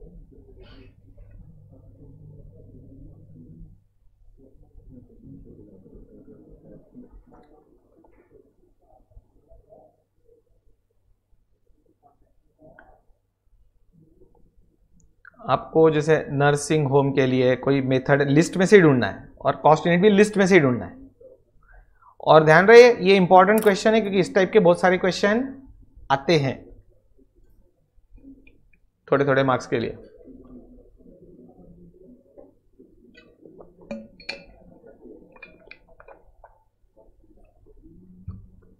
मैं बाद में आंसर वाली स्क्रीन लगा दूँगा।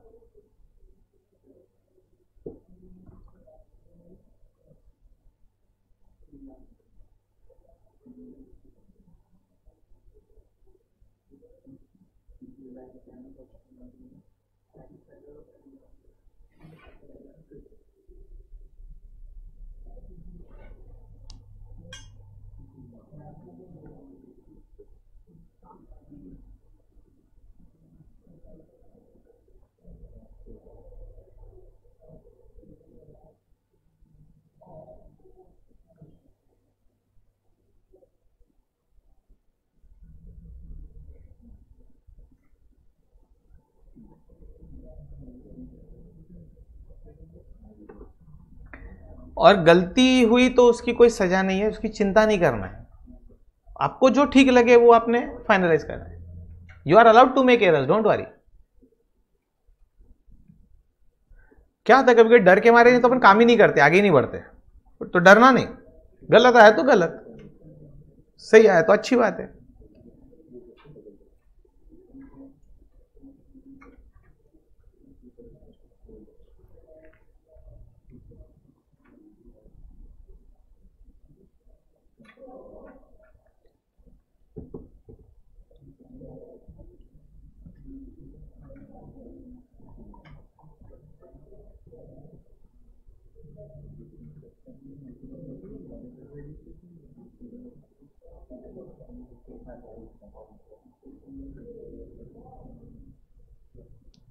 कुछ आंसर आपको उसमें लॉजिकली लिखना है सोच के।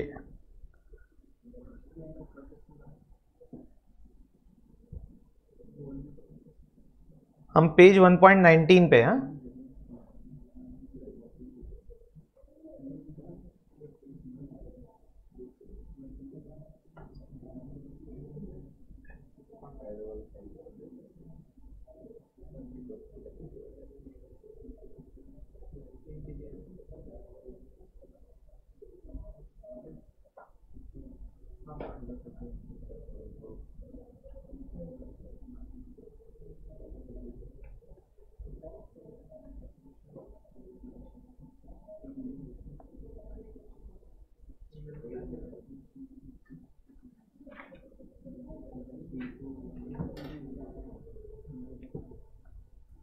क्या बोलते दोस्तों?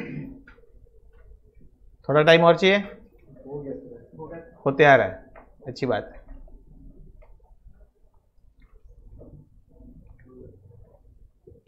उस पर डिस्कशन भी है क्योंकि क्योंकि मेरा आंसर आपके आंसर से टैली नहीं होता, आप बोलेंगे, ऐसे ही क्यों? तो उसका एक्सप्लेनेशन भी तो लगेगा ना।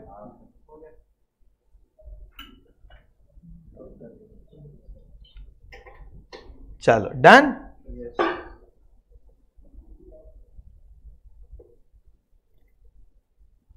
ओके अब मैं आंसर पे जाता हूँ। अब आपसे पूछूँगा एक एक आंसर और करेक्ट आंसर स्क्रीन पे आते भी जाएगा। पहले नर्सिंग होम मेथड बोलो। ऑपरेटिंग कॉस्टिंग यानी सर्विस इंडस्ट्री नर्सिंग होम यानी हॉस्पिटल तो ऑपरेटिंग कॉस्टिंग का लेटर क्या था? E e. एकदम परफेक्ट आंसर दिया आपने। अब उसका कॉस्ट यूनिट क्या होना चाहिए? पर बेड पर डे पर बेड पर डे बराबर। पर बेड पर डे या पर पेशेंट पर डे यानी सीरियल नंबर टू परफेक्ट दूसरा लेते goods transport operating costing service industry है ना? यानी ई e आएगा फिर से। लेकिन उसका cost unit per tonne per kilometre very good यानी नंबर सिक्स ऐसा लिखना था। ये तो समझ में आ गया था आपको कि नीचे से उठा के अप्रोप्रिएट नंबर सामने लिखना है। फिर अपना स्टील स्टील बनता है ना? स्टील मैन्युफैक्चरिंग अब यहाँ क्या होगा कि थोड़ा सा इमेजिनेशन करना पड़ेगा। हमने कोई स्टील फैक्ट्री में ना तो आपने काम किया है, ना मैंने किया है। और हम कितनी कितनी फैक्ट्री में काम कर लेंगे। अभी तो आप स्टूडेंट एज पर हो वैसे भी। लेकिन अपेक्षा सब इंस्टीट्यूट की कि आपने सबका थोड़ा थोड़ा पढ़ा जनरल नॉलेज बहुत लगता है। जनरल नॉलेज या बिज़नेस नॉलेज कॉस्टिंग में बहुत ज़्यादा लगता है। और इसीलिए इंटरेस्टिंग भी है सब्जेक्ट इससे आपको आगे बिज़नेस करने में या जनरल लाइफ में भी बहुत काम में आएगा ये सब्जेक्ट इन्फॉर्मेशन बहुत मिलती है इसमें से। डिसीज़न मेकिंग वगैरह की। चलो। अब एक एग्ज़ाम ये कर लो गेस वर्क कर लो प्रोसेस बराबर। ए प्रोसेस कॉस्टिंग बराबर। क्यों का जवाब दूँगा ना मैं? मैं बैठे ही उसी लिए हूँ। अच्छा स्टील को काय में काउंट करेंगे आप? कॉस्ट यूनिट पर टन वो तो बराबर दे ही सकते थे आप। पर टन ऑफ़ स्टील का रेट कोट होता है स्टील फैक्ट्री से। तो वो आएगा नंबर थ्री अब ये प्रोसेस इंडस्ट्री कैसे है? बराबर? तो पहली बात तो क्वारीज या माइंस जो रहती हैं, उसमें से आयरन ओर निकाला जाता है। कच्चा लोहा, आयरन ओर और पता है ना ओ आर ई स्पेलिंग है उसका, आयरन ओर, जो भी। तो माइंस में से आयरन ओर निकाला जाता है, उसमें मिट्टी भी रहती है। फिर वो आयरन और रॉ मटेरियल को प्रोसेसिंग में डालते, उसमें की जो बाकी अननेसरी चीज़ें वो हटाते फिर वो आयन को मेल्ट करते और फिर उसको जिस शेप में चाहिए, उसमें वो ढालते। तो ये सब क्या होता है? स्टेप बाय स्टेप प्रोसेस से। पहली प्रोसेस दूसरी प्रोसेस तीसरी प्रोसेस चौथी प्रोसेस ऐसे चार पाँच स्टेज के बाद फिर वो बनता है फिनिश्ड प्रोडक्ट आपको जो चाहिए वो। इट्स अ प्रोसेसिंग इंडस्ट्री और इसीलिए फ्री टाइम में अपने वो फैक्ट्री मेड वाले वीडियोस देखना है तो आपको पता चलेगा अलग अलग फैक्ट्री एक ही जगह बैठ के सब मिल जाएगा ना, इतनी फैक्ट्री विज़िट कब मारेंगे आप? किस किस की परमिशन लेंगे? एक मोबाइल पे सब फैक्ट्री मिल जाएँगे आपको। इंफॉर्मेशन टेक्नोलॉजी का जमाना। राइट कर लो दुनिया मुट्ठी में।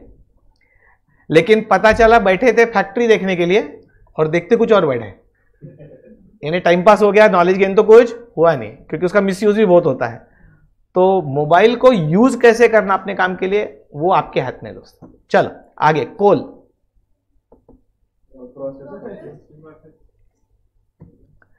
एक आंसर आया प्रोसेस और? मल्टीपल मल्टीपल भी आया आंसर ओके कोई प्रॉब्लम नहीं गेस तो किया आपने. अब दोस्तों सिर्फ़ कोल कोल मिलता है कोल माइंस में. तो आपको गवर्नमेंट को पैसे देके एक लाइसेंस लेना पड़ता है एक जगह का. कोल माइन का नहीं वो एरिया का लाइसेंस जहाँ पर कोल है ज़मीन में. गवर्नमेंट को रॉयल्टी देनी पड़ती है उसकी. राइट? और फिर उसमें से कोल आपको निकालते रहना है, दिन भर। डे इन डे आउट आप क्या करेंगे वहाँ से? मशीन लगाएँगे और कोल निकालेंगे। और जिनको कोल चाहिए, उनको बेच देंगे वो। दोस्तों, आप डे इन डे आउट एक ही काम कर रहे हैं। क्या निकाल रहे? हैं कोल और यदि आपको cost per tonne of coal extracted निकालना हो तो आप total cost incurred on that mine divided by total quantity of coals extracted from the mine कर दो। आपको शायद कॉस्ट पर टन मिल जाएगी। बराबर। सिंगल है क्या उसमें? एक ही तो कोल माइन में कोल ही मिलेगा ना। सिंगल यूनिट तो आंसर आएगा डी मैंने इलेक्ट्रिसिटी का एग्जांपल दिया था शायद आपको देते समय। कोल का था डी अच्छा इसकी, इसका कॉस्ट यूनिट बोलो। Per ton coal measure ton में ही होगा। वन टन इज़ थाउज़ेंड के तो नंबर थ्री ठीक है? अब चलते हैं बाइसिकल पे।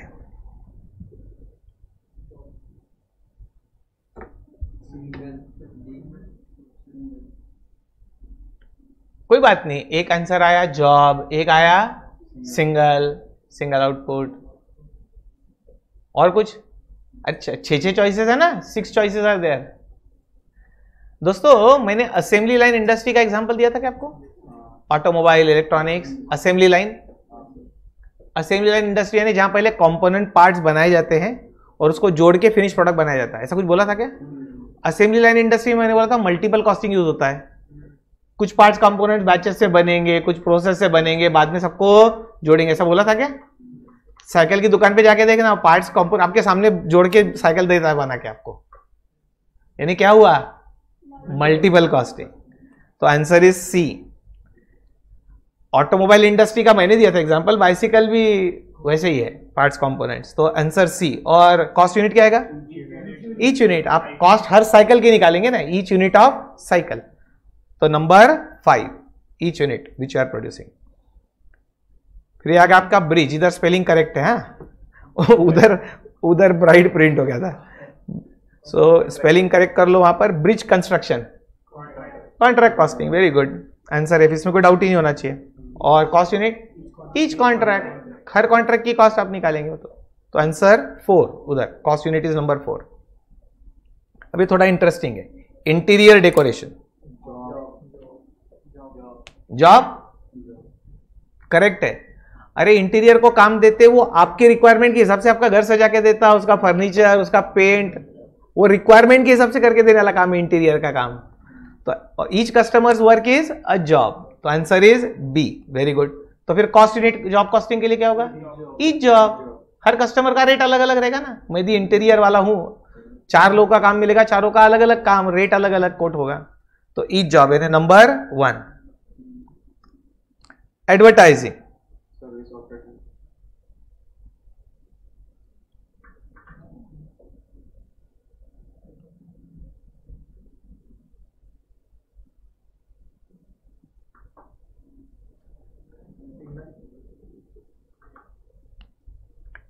हो सकता है थोड़ा सा कंफ्यूजन मैं क्लियर कर दूँगा उसको। आप ये बोलो यदि मैं एडवर्टाइजिंग एजेंसी हूँ। मैं यदि एडवर्टाइजिंग एजेंसी हूँ तो मुझे कस्टमर से वो काम मिलेगा? अब कस्टमर को टेलीविज़न पे एडवर्टीजमेंट देना है, क्या रोड साइड फ्लेक्स लगाना है, क्या रेडियो पे एडवर्टीजमेंट देना है, क्या पैम्पलेट बंटवाना है? अलग अलग टाइप का हो सकता है। उसका प्रोडक्ट कौन सा है? उसके हिसाब से वो एडवर्टीजमेंट का मटेरियल डिज़ाइन करना पड़ेगा। और यदि टेलीविज़न पे दिखाना होगा तो तो लोगों को लगा के शूटिंग बीटिंग भी कराने पड़ेंगे, फिर टेलीविज़न का स्लॉट लेके और उस पर ये करना पड़ेगा। आपको नहीं लगता हर काम कस्टमर का मुझे अलग अलग मिलेगा क्योंकि उसका प्रोडक्ट अलग, उसकी एडवर्टीजमेंट अलग रहेगी? किसी को न्यूज़पेपर की एडवर्टीजमेंट किसी को रेडियो की, किसी को टेलीविज़न की, किसी को क्रिकेट मैच में स्टेडियम की। और हर एक की एडवर्टीजमेंट अलग अलग डिज़ाइन होंगी, और उसके रिक्वायरमेंट के हिसाब से। न्यूज़पेपर के एडवर्टीजमेंट के लिए तो कंप्यूटर पे बैठ के एक छोटा सा मैटर बना के न्यूज़पेपर एजेंसी को दे दे तो काम हो जाता। पर टेलीविज़न की एडवर्टीजमेंट रहे तो बहुत बड़ा काम करना पड़ेगा। लोकेशन डिसाइड करो एक्टर एक्ट्रेसेस लाओ मॉडल्स लाओ शूटिंग करो फिर दो। यानी क्या हुआ? जॉब अरे हर एक कस्टमर का काम जॉब ही हुआ क्योंकि हर एक की एडवर्टीजमेंट अलग अलग रहेंगी एक ही कैसे हो सकती? सबकी अलग अलग सबका बजट अलग अलग सबका मोड ऑफ़ एडवर्टीजमेंट अलग अलग सबके लिए एफर्ट्स लगने वाले अलग अलग आज की तारीख में फ्लेक्स भी बनाओ तो सबके अलग अलग साइज़ के और अलग अलग डिज़ाइन के फ्लेक्स बनते हैं दोस्तों। सिर्फ़ फ्लेक्स एडवर्टीजमेंट में हर एक काम के। राइट right, तो बी और फिर यदि आंसर बी है तो ई जॉब ही आएगा। नंबर वन ही आएगा। अब ये रेडीमेड फर्नीचर हाँ? मैंने इनडायरेक्ट हिंट दी थी आपको। रेडीमेड टेलर मेड नहीं है। टेलर मेड रहा तो जॉब रेडीमेड बना बना के रख दिए हैं। आप आओ खरीद के ले जाओ शोरूम से।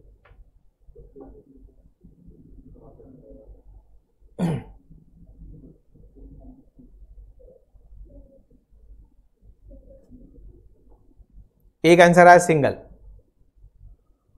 रेडीमेड फर्नीचर के आप शोरूम में जाएँगे तो एक ही फर्नीचर मिलता क्या? एक जैसा. सिंगल यूनिट कॉस्टिंग कभी होती थी when you manufacture only one item identical uniform throughout the year एक ही चीज़ बनाते आप. दूसरी चीज़ बनाते ही नहीं, दूसरा शेप साइज़ कलर कुछ भी नहीं. तब single unit output costing use होती. है एक ही चीज़, बस. No variation good multiple costing answer बराबर है. अब क्यों? पहले मल्टीपल कॉस्टिंग फिर मैं डिस्कस करता हूँ। आगे यूनिट बोल दो। ईच यूनिट रहेगा ना फर्नीचर के हर यूनिट की प्राइस सोफा सेट हो तो उसका प्राइस टैग अलग रहेगा डाइनिंग टेबल हो तो उसका प्राइस टैग अलग रहेगा। तो ईच यूनिट यानी नंबर फाइव अब ये रेडीमेड फर्नीचर मल्टीपल कॉस्टिंग क्यों? फर्नीचर भी एक्चुअली आप जब फर्नीचर मैन्युफैक्चरिंग देखेंगे रेडीमेड फर्नीचर की बात कर रहा हूँ तो वो फर्नीचर के पहले पार्ट्स कंपोनेंट्स बनाए जाते हैं बैचेस में। और फिर उनको जोड़ के वो फर्नीचर बनाया बनाया जाता है जैसे चेयर्स बना तो चेयर्स के लेग्स लेग्स लेग्स बना लिए पहले।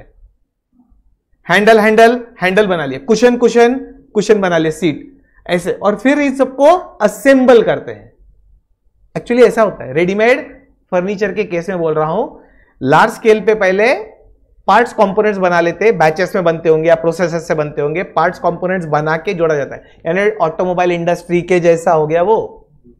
या इलेक्ट्रॉनिक गुड्स इंडस्ट्री के जैसा हो गया। मैं रेडीमेड फर्नीचर की बात कर रहा हूँ। एक वन एट अ टाइम नहीं बन रहा है। एक कस्टमर की ऑर्डर है उसके लिए बना के उसको दे दिया, वैसा नहीं। नहीं तो जॉब कॉस्टिंग हो जाता था। टेलर मेड नहीं है रेडीमेड है।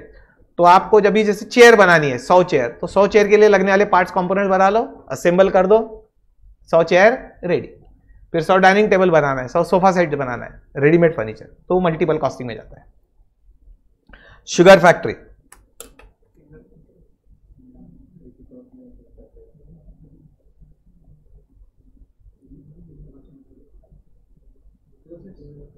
प्रोसेस एक्चुअली इसका एग्ज़ाम्पल देते देते रुक गया था मैं, अभी दूँगा उसका।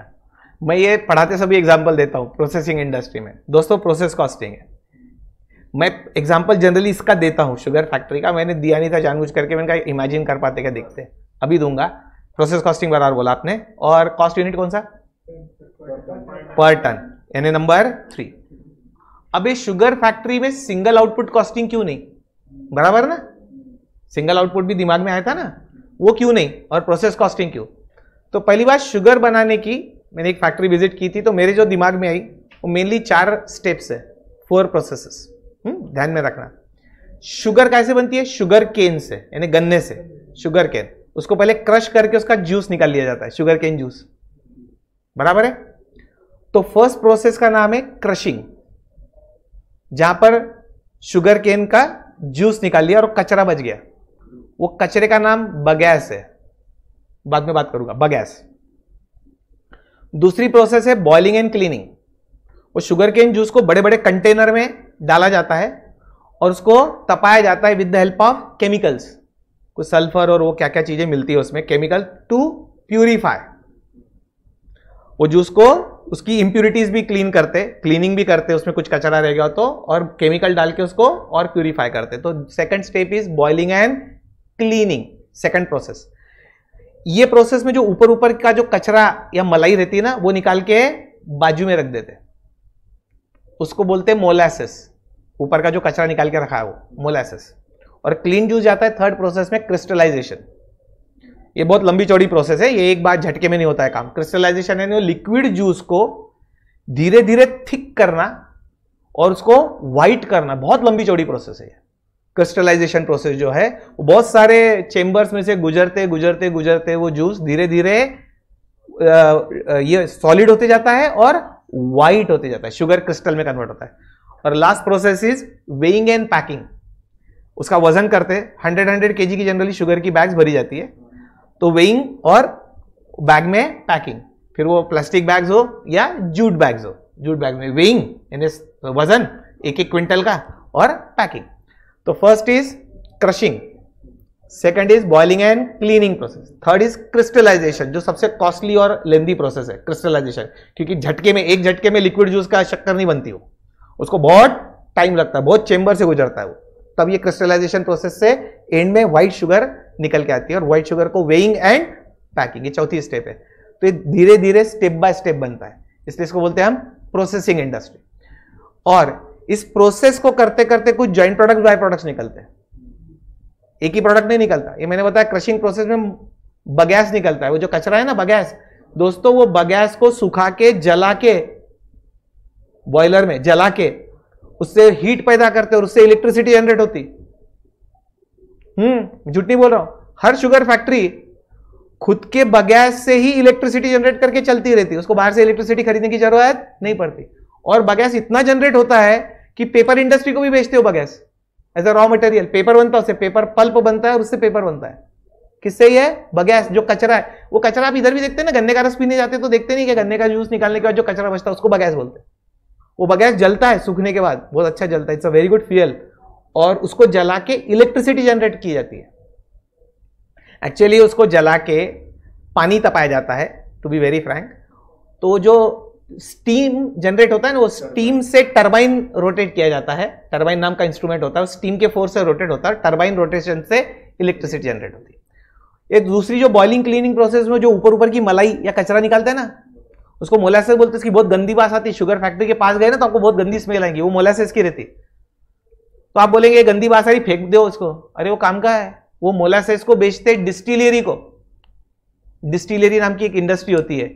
जिस मोलासेस को डिस्टिलेशन प्रोसेस से पास ऑन किया तो उससे अल्कोहल बनता है। एथेनॉल बनता है, अपने पेट्रोल में मिक्स होकर आता है। स्पिरिट बनता है, जो अपन साइंस की लेबोरेटरी में स्पिरिट के लैम्प जलाते थे। स्पिरिट, एथेनॉल, अल्कोहल, लिकर, ये उस कचरे से बनता है, मोलासेस से। डिस्टिलेशन प्रोसेस से। डिस्टिलेशन प्रोसेस बोलते उसको, डिस्टिलरी। ये जो काम होता है वो डिस्टिलरी। तो मोलासेस उनको बेच देते किसको? डिस्टिलरी वाले के लिए वो रॉ मटेरियल है। यानी पहले तो प्रोसेस और प्रोसेस के साथ साथ ज्वाइंट प्रोडक्ट्स बाय प्रोडक्ट्स एक प्रोसेस में दो दो तीन तीन प्रोडक्ट निकलते राइट तो ये प्रोसेसिंग इंडस्ट्री है शुगर फैक्ट्री और उससे अटैच टॉपिक कौन सा है? प्रोसेसिंग इंडस्ट्री से अटैच टॉपिक एक से ज़्यादा प्रोडक्ट निकले तो joint product by product cost अब दोस्तों, एक, एकदम सिंपल सिंपल दो क्वेश्चन है डायरेक्ट एक्सपेंस वाले, वो ले लेते हैं। तो very simple question number twenty five on direct expenses right हम उस पेज पर से ही लेते हैं। Will solve it in that notes it उसको इतना सॉल्व करने की ज़रूरत ही नहीं है। वहीं पर लिख दिया पेंसिल से तो काम हो जाएगा। तो बहुत ही सिंपल है। मैं क्वेश्चन लगा ही देता हूँ स्क्रीन पे। ये देखो ये क्वेश्चन 25 मैं पढ़ देता हूँ।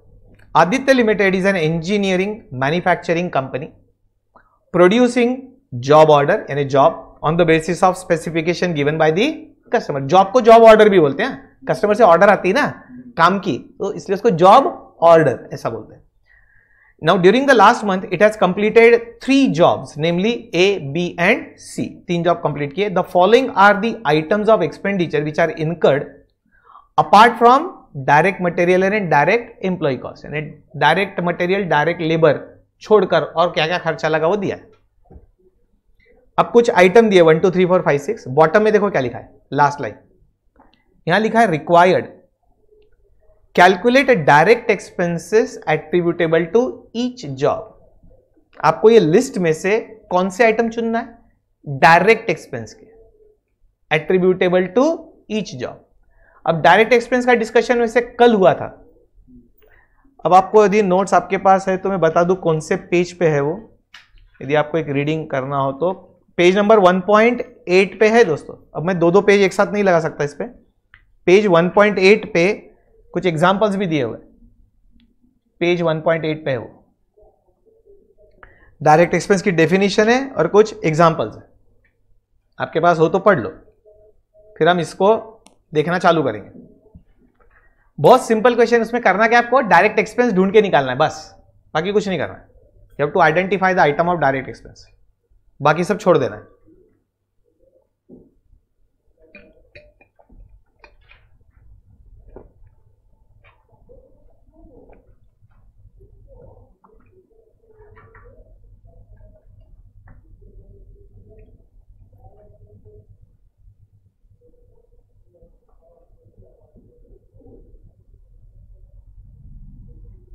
एक बार रिवीजन कर लिया पेज 1.8 पे से। एग्ज़ाम में ये फैसिलिटी नहीं रहेंगे? एग्ज़ाम में ये सब मेमोरी में रखना पड़ेगा। अभी आप देख रहे पढ़ रहे और फिर आंसर दे रहे हैं। ये फैसिलिटी अभी है। चलो डिस्कशन चालू करें। हम्म? और आप पेंसिल से लिखते जाना उसके सामने। ऑफ़िस एंड एडमिनिस्ट्रेशन ओवरेज ये डायरेक्ट एक्सपेंस है क्या? नहीं, अरे ये एडमिनिस्ट्रेशन ओवरेज है तो आप एक्स्ट्रा आंसर भी लिख दो। उन, वैसे मेन क्वेश्चन में क्या पूछा? सिर्फ़ डायरेक्ट एक्सपेंस ढूंढ के लिखना है, बाकी छोड़ देना है। लेकिन आप वो, अपना आइटम नहीं है तो क्या है? वो वो भी लिख दो ना सामने पेंसिल से। इसको लिख दो एडमिनिस्ट्रेशन ओवरेज एडमिनिस्ट्रेशन ओवरेज ये product blueprint cost for job A direct expense है क्या? अरे drawings designs mould specifically for job है ना ये? तो इसको डीई लिख दो, ये डायरेक्ट एक्सपेंस है। किसका? फॉर जॉब ए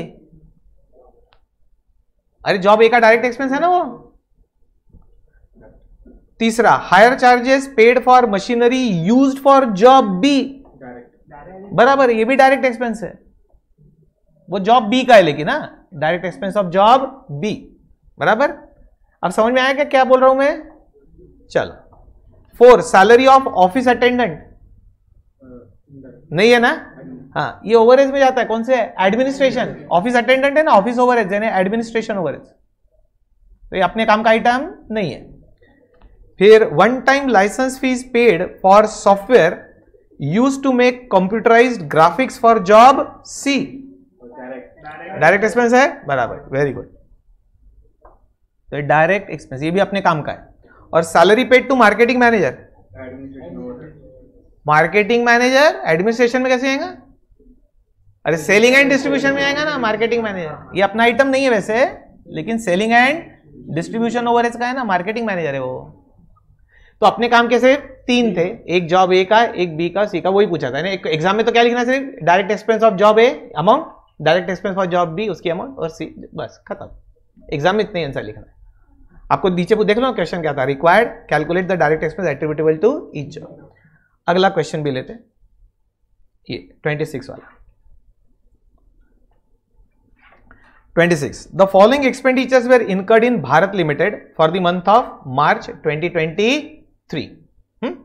एक लिस्ट दी है one two three four five six seven items की। Hmm?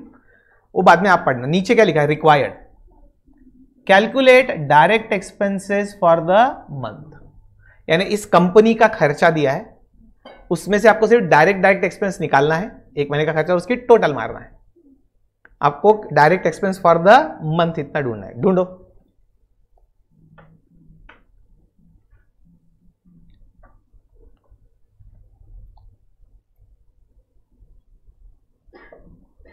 ट्वेंटी सिक्स नंबर भी वहीं पर सॉल्व कर देते हैं हाँ? अलग से सॉल्व नहीं करते। अपन सिर्फ़ डी डी मार्क कर देंगे डायरेक्ट एक्सपेंस पे, और उसकी टोटल मार देंगे।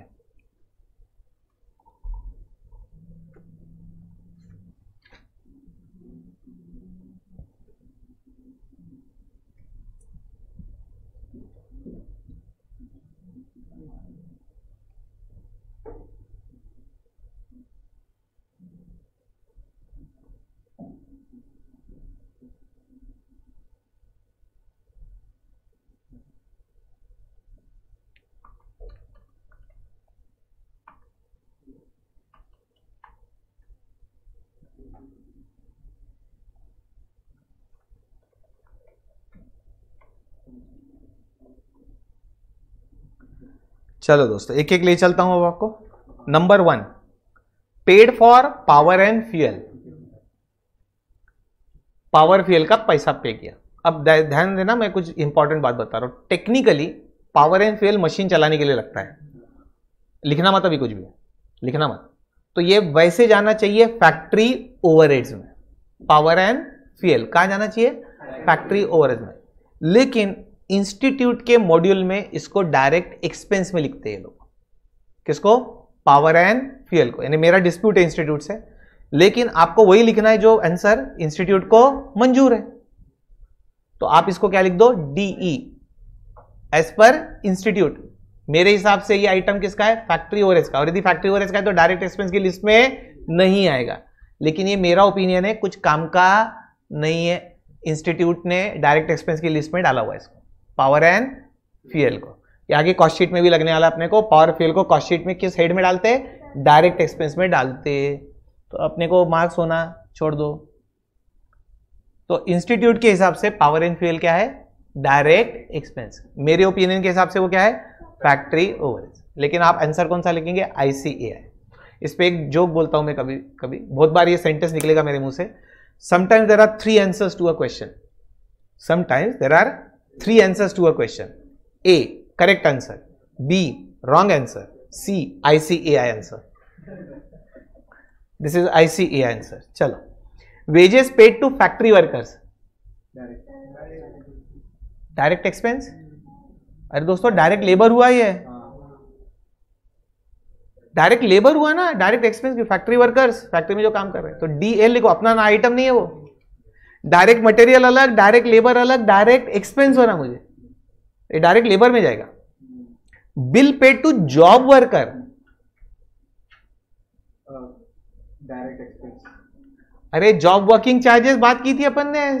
Subcontracting charges job working charges outsourcing charges job workers है।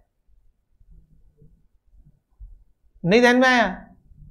अरे अभी तुमको थेरी पढ़ने को बोली थी वहाँ भी तो लिखा है वो। बाहर देखे मोबाइल का अपन ने असेंबली नहीं करा के लिया था, बाहर से असेंबली पैकिंग उसको जॉब वर्क चार्जेस बोलते हैं ना, बाहर से काम करा के लिया तो। डायरेक्ट एक्सपेंस आएगा ना दोस्तों ये। Bill paid to job workers direct expense आएगा। जॉबिंग चार्जेस है वो। बाहर से काम करा के लिए आपने रॉयल्टी पेड फॉर प्रोडक्शन बराबर direct expense fees paid to technician hired for job बराबर, वो फ़ीस सिर्फ़ वो जॉब के लिए दी है टेक्नीशियन को हायर किया, उसकी सर्विस ली आपने तो ये भी डायरेक्ट एक्सपेंस करेक्ट अभी सही जा रहे आप. एडमिनिस्ट्रेशन ओवरेज लिख दिया उन्होंने तो क्या है वो? मतलब नाम ही लिख दिया उन्होंने. अरे ये डायरेक्ट एक्सपेंस कैसे आएगा? खुद ही ओवरेज बोल रहे हो. तो डायरेक्ट का तो आइटम ही नहीं तो उसको एडमिनिस्ट्रेशन ओवरेज लिख दो. वही नाम खुद ही लिख दिया उन्होंने आंसर ही. और commission paid to sales staff भूल गए नाम आप ये सेलिंग एंड डिस्ट्रीब्यूशन और इसका नाम भूल गए कि तीन ओवरेज में से? ये सेलिंग एंड डिस्ट्रीब्यूशन तो अब एक काम करो कैलकुलेटर पे डीई डीई e, e की टोटल लेके नीचे लिख दो। उनको एक्चुअली वो टोटल चाहिए। Total direct expense for the month कितने बोलो। Fifteen lakh fifty thousand six hundred लिख दो यहाँ टोटल ये इसका जो आंसर है ना calculate the direct expenses for the month ये है रुपीज़ फिफ्टीन लाख कितना? फिफ्टी थाउज़ेंड कितनी दी टोटल सिक्स हंड्रेड इतनी दी ना आपने टोटल ये आंसर उस क्वेश्चन का। अब एग्ज़ाम में आंसर को कैसे लिखेंगे? कुछ नहीं पर्टिकुलर रुपीज़ बनाएँगे? जो जो डायरेक्ट एक्सपेंस का आइटम है वो नाम लिख देंगे उसकी अमाउंट लिख देंगे और टोटल मार देंगे बस इतना ही काम। यानी एक लिस्ट बनानी है और उसकी टोटल ये आपका फेयर आंसर होगा मैंने यही सॉल्व करा लिया क्योंकि उसमें कोई दम है नहीं इसलिए यही सॉल्व करा लिया आपसे। ऐसे एग्ज़ाम में नहीं सॉल्व करते मार्क्स नहीं मिलेंगे। एग्ज़ाम में ऐसा सॉल्व किया तो क्या होगा पता? क्या क्वेश्चन पेपर पे लिखा आपने? और क्वेश्चन पेपर घर पे आ गया। तो मार्क्स किसको मिलेंगे? तो वहाँ लिख के आना पड़ेगा ना आपको आंसर शीट पे। चलो तो दोस्तों ये चैप्टर अपना खत्म होता है, लेकिन कुछ इंस्ट्रक्शन है आपके लिए ये सब हो गया अपना। इंस्ट्रक्शन में आपको होमवर्क में क्या क्या है? तो वो आप ये होमवर्क कहाँ लिखेंगे? आपके नोटबुक में जो रेड लाइन रहती है ना, उसके ऊपर लिख के रखना। अरे, आपके नोटबुक में एक रेड लाइन रहती है ना, जिसके नीचे लिखना चालू करते ऊपर की जगह खाली रहती तो वहाँ पर मार्किंग करके रखो, आपको होमवर्क क्या है? ये छोटे छोटे क्वेश्चन है। आपके इसके आगे, हमने जो अभी 26 सॉल्व किया, उसके आगे होमवर्क के क्वेश्चन प्रिंटेड है आपके क्वेश्चन 27 टू 36 ये पास्ट एग्ज़ाम में आ चुके हैं। पास्ट एग्ज़ाम में आ चुके हैं। तो ये आपका होमवर्क में, कहीं लिख के रखो आपके नोटबुक में, ये question 27 to question 36 page 1.20 to page 1.23 ऐसा लिख के रखो। पेज 1.20 टू पेज 1.23 ये ऊपर लिख के क्यों रखो? जैसा जैसे टाइम मिले ये सॉल्व करना ये तो बहुत ही चिल्लर क्वेश्चन है वैसे। Now we will discuss any difficulty related to these question in the next lecture ये जब भी होमवर्क दूँगा, उससे रिलेटेड डिफिकल्टी हम नेक्स्ट लेक्चर में यदि कोई रही तो आपने पेंसिल से मार्क करके रखने की तो हम डिफिकल्टी को डिस्कस किया करेंगे। और एक मिनट रुको। हर चैप्टर पे एक टेस्ट है। Right right? ये टेस्ट आपके वॉल्यूम फोर बुक में है। एक प्रैक्टिस बुक दिया आपको? चौथा वॉल्यूम चौथे वॉल्यूम में test one two three four हर चैप्टर पे फोर्टीन चैप्टर है मेरे नोट्स में। तो आपकी वहाँ फोर्टीन टेस्ट है। वन फोर हर चैप्टर खत्म होने के बाद ये टेस्ट अब इस टेस्ट को कैसे करेंगे? क्योंकि टाइम लिमिटेड है। आपके पास भी और मेरे पास भी। तो हमने इसका एक रास्ता निकाला you have to solve this questions one by one जैसे जैसे टाइम मिले आपको। आपकी स्पीड से one by one before we finish next chapter यानी मेरा अगला चैप्टर खत्म होने तक एक एक दो दो, एक एक दो दो, और वैसे पहले चैप्टर के तो क्वेश्चन ही बहुत छोटे छोटे हैं। सेकंड चैप्टर से प्रैक्टिकल क्वेश्चन रहेंगे तो थोड़े से बड़े भी रहेंगे। अभी तो वो छोटे छोटे क्वेश्चन है। तो आपके वॉल्यूम फोर बुक में से टेस्ट वन लेने की क्वेश्चन और उसके नीचे आंसर प्रिंटेड है। डोंट वरी टेस्ट के आंसर वहीं पर आपके चेकिंग के लिए। तो एक एक करके सॉल्व करना और चेक करते जाना। Before we finish the next chapter आपका खत्म हो जाना चाहिए काम। Now you may do it as per your own convenience ये इंस्ट्रक्शन है, हर टेस्ट के लिए इंस्ट्रक्शन है ये टेस्ट 14 टेस्ट होने वाली है उसमें? इंस्ट्रक्शन कॉमन है। आपने जैसे जैसे समय मिले, दो लेक्चर के बीच में खाली टाइम है, एक हाथ दो क्वेश्चन सॉल्व कर लो। अच्छा काय पे करना है? रफ पेपर पे कैलकुलेटर पे? और ये तो थेरी क्वेश्चन ऐसे इमेजिनेशन से सॉल्व हो जाएँगे। अभी तो अभी वाले तो पहले चैप्टर के तो। लेकिन ये करना है तो एग्ज़ाम में सर्वाइव होंगे। आंसर मैंने प्रिंट कर दिए तो जैसे जैसे टाइम मिले एक एक दो दो एक एक दो दो अपने कन्वीनियंस के हिसाब से करते जाओ आंसर वहाँ है उससे चेक करते जाओ। कोई डिफिकल्टी रही तो हम उसको देखेंगे बाद राइट ईमेल से या लेक्चर के बाद, ठीक है? तो you may check it with the solutions which are provided as per your convenience to gain the confidence इसी से आपको पता चलेगा कि आपकी पढ़ाई सही हो रही है या नहीं। तो आपको दो काम दिए, एक तो होमवर्क राइट? इस चैप्टर के जो इसी नोट्स में प्रिंटेड है वॉल्यूम वन में इसी में प्रिंटेड है। और ये टेस्ट वन वॉल्यूम फोर में प्रिंट है। और दोस्तों, अगला टॉपिक है मटेरियल कॉस्ट जो आज चालू नहीं करते। राइट अब नेक्स्ट लेक्चर से हम आ जाएँगे चैप्टर नंबर टू पे दैट इज़ मटेरियल कॉस्ट आज के लिए इतना काफ़ी है। Thank you for your cooperation thank you sir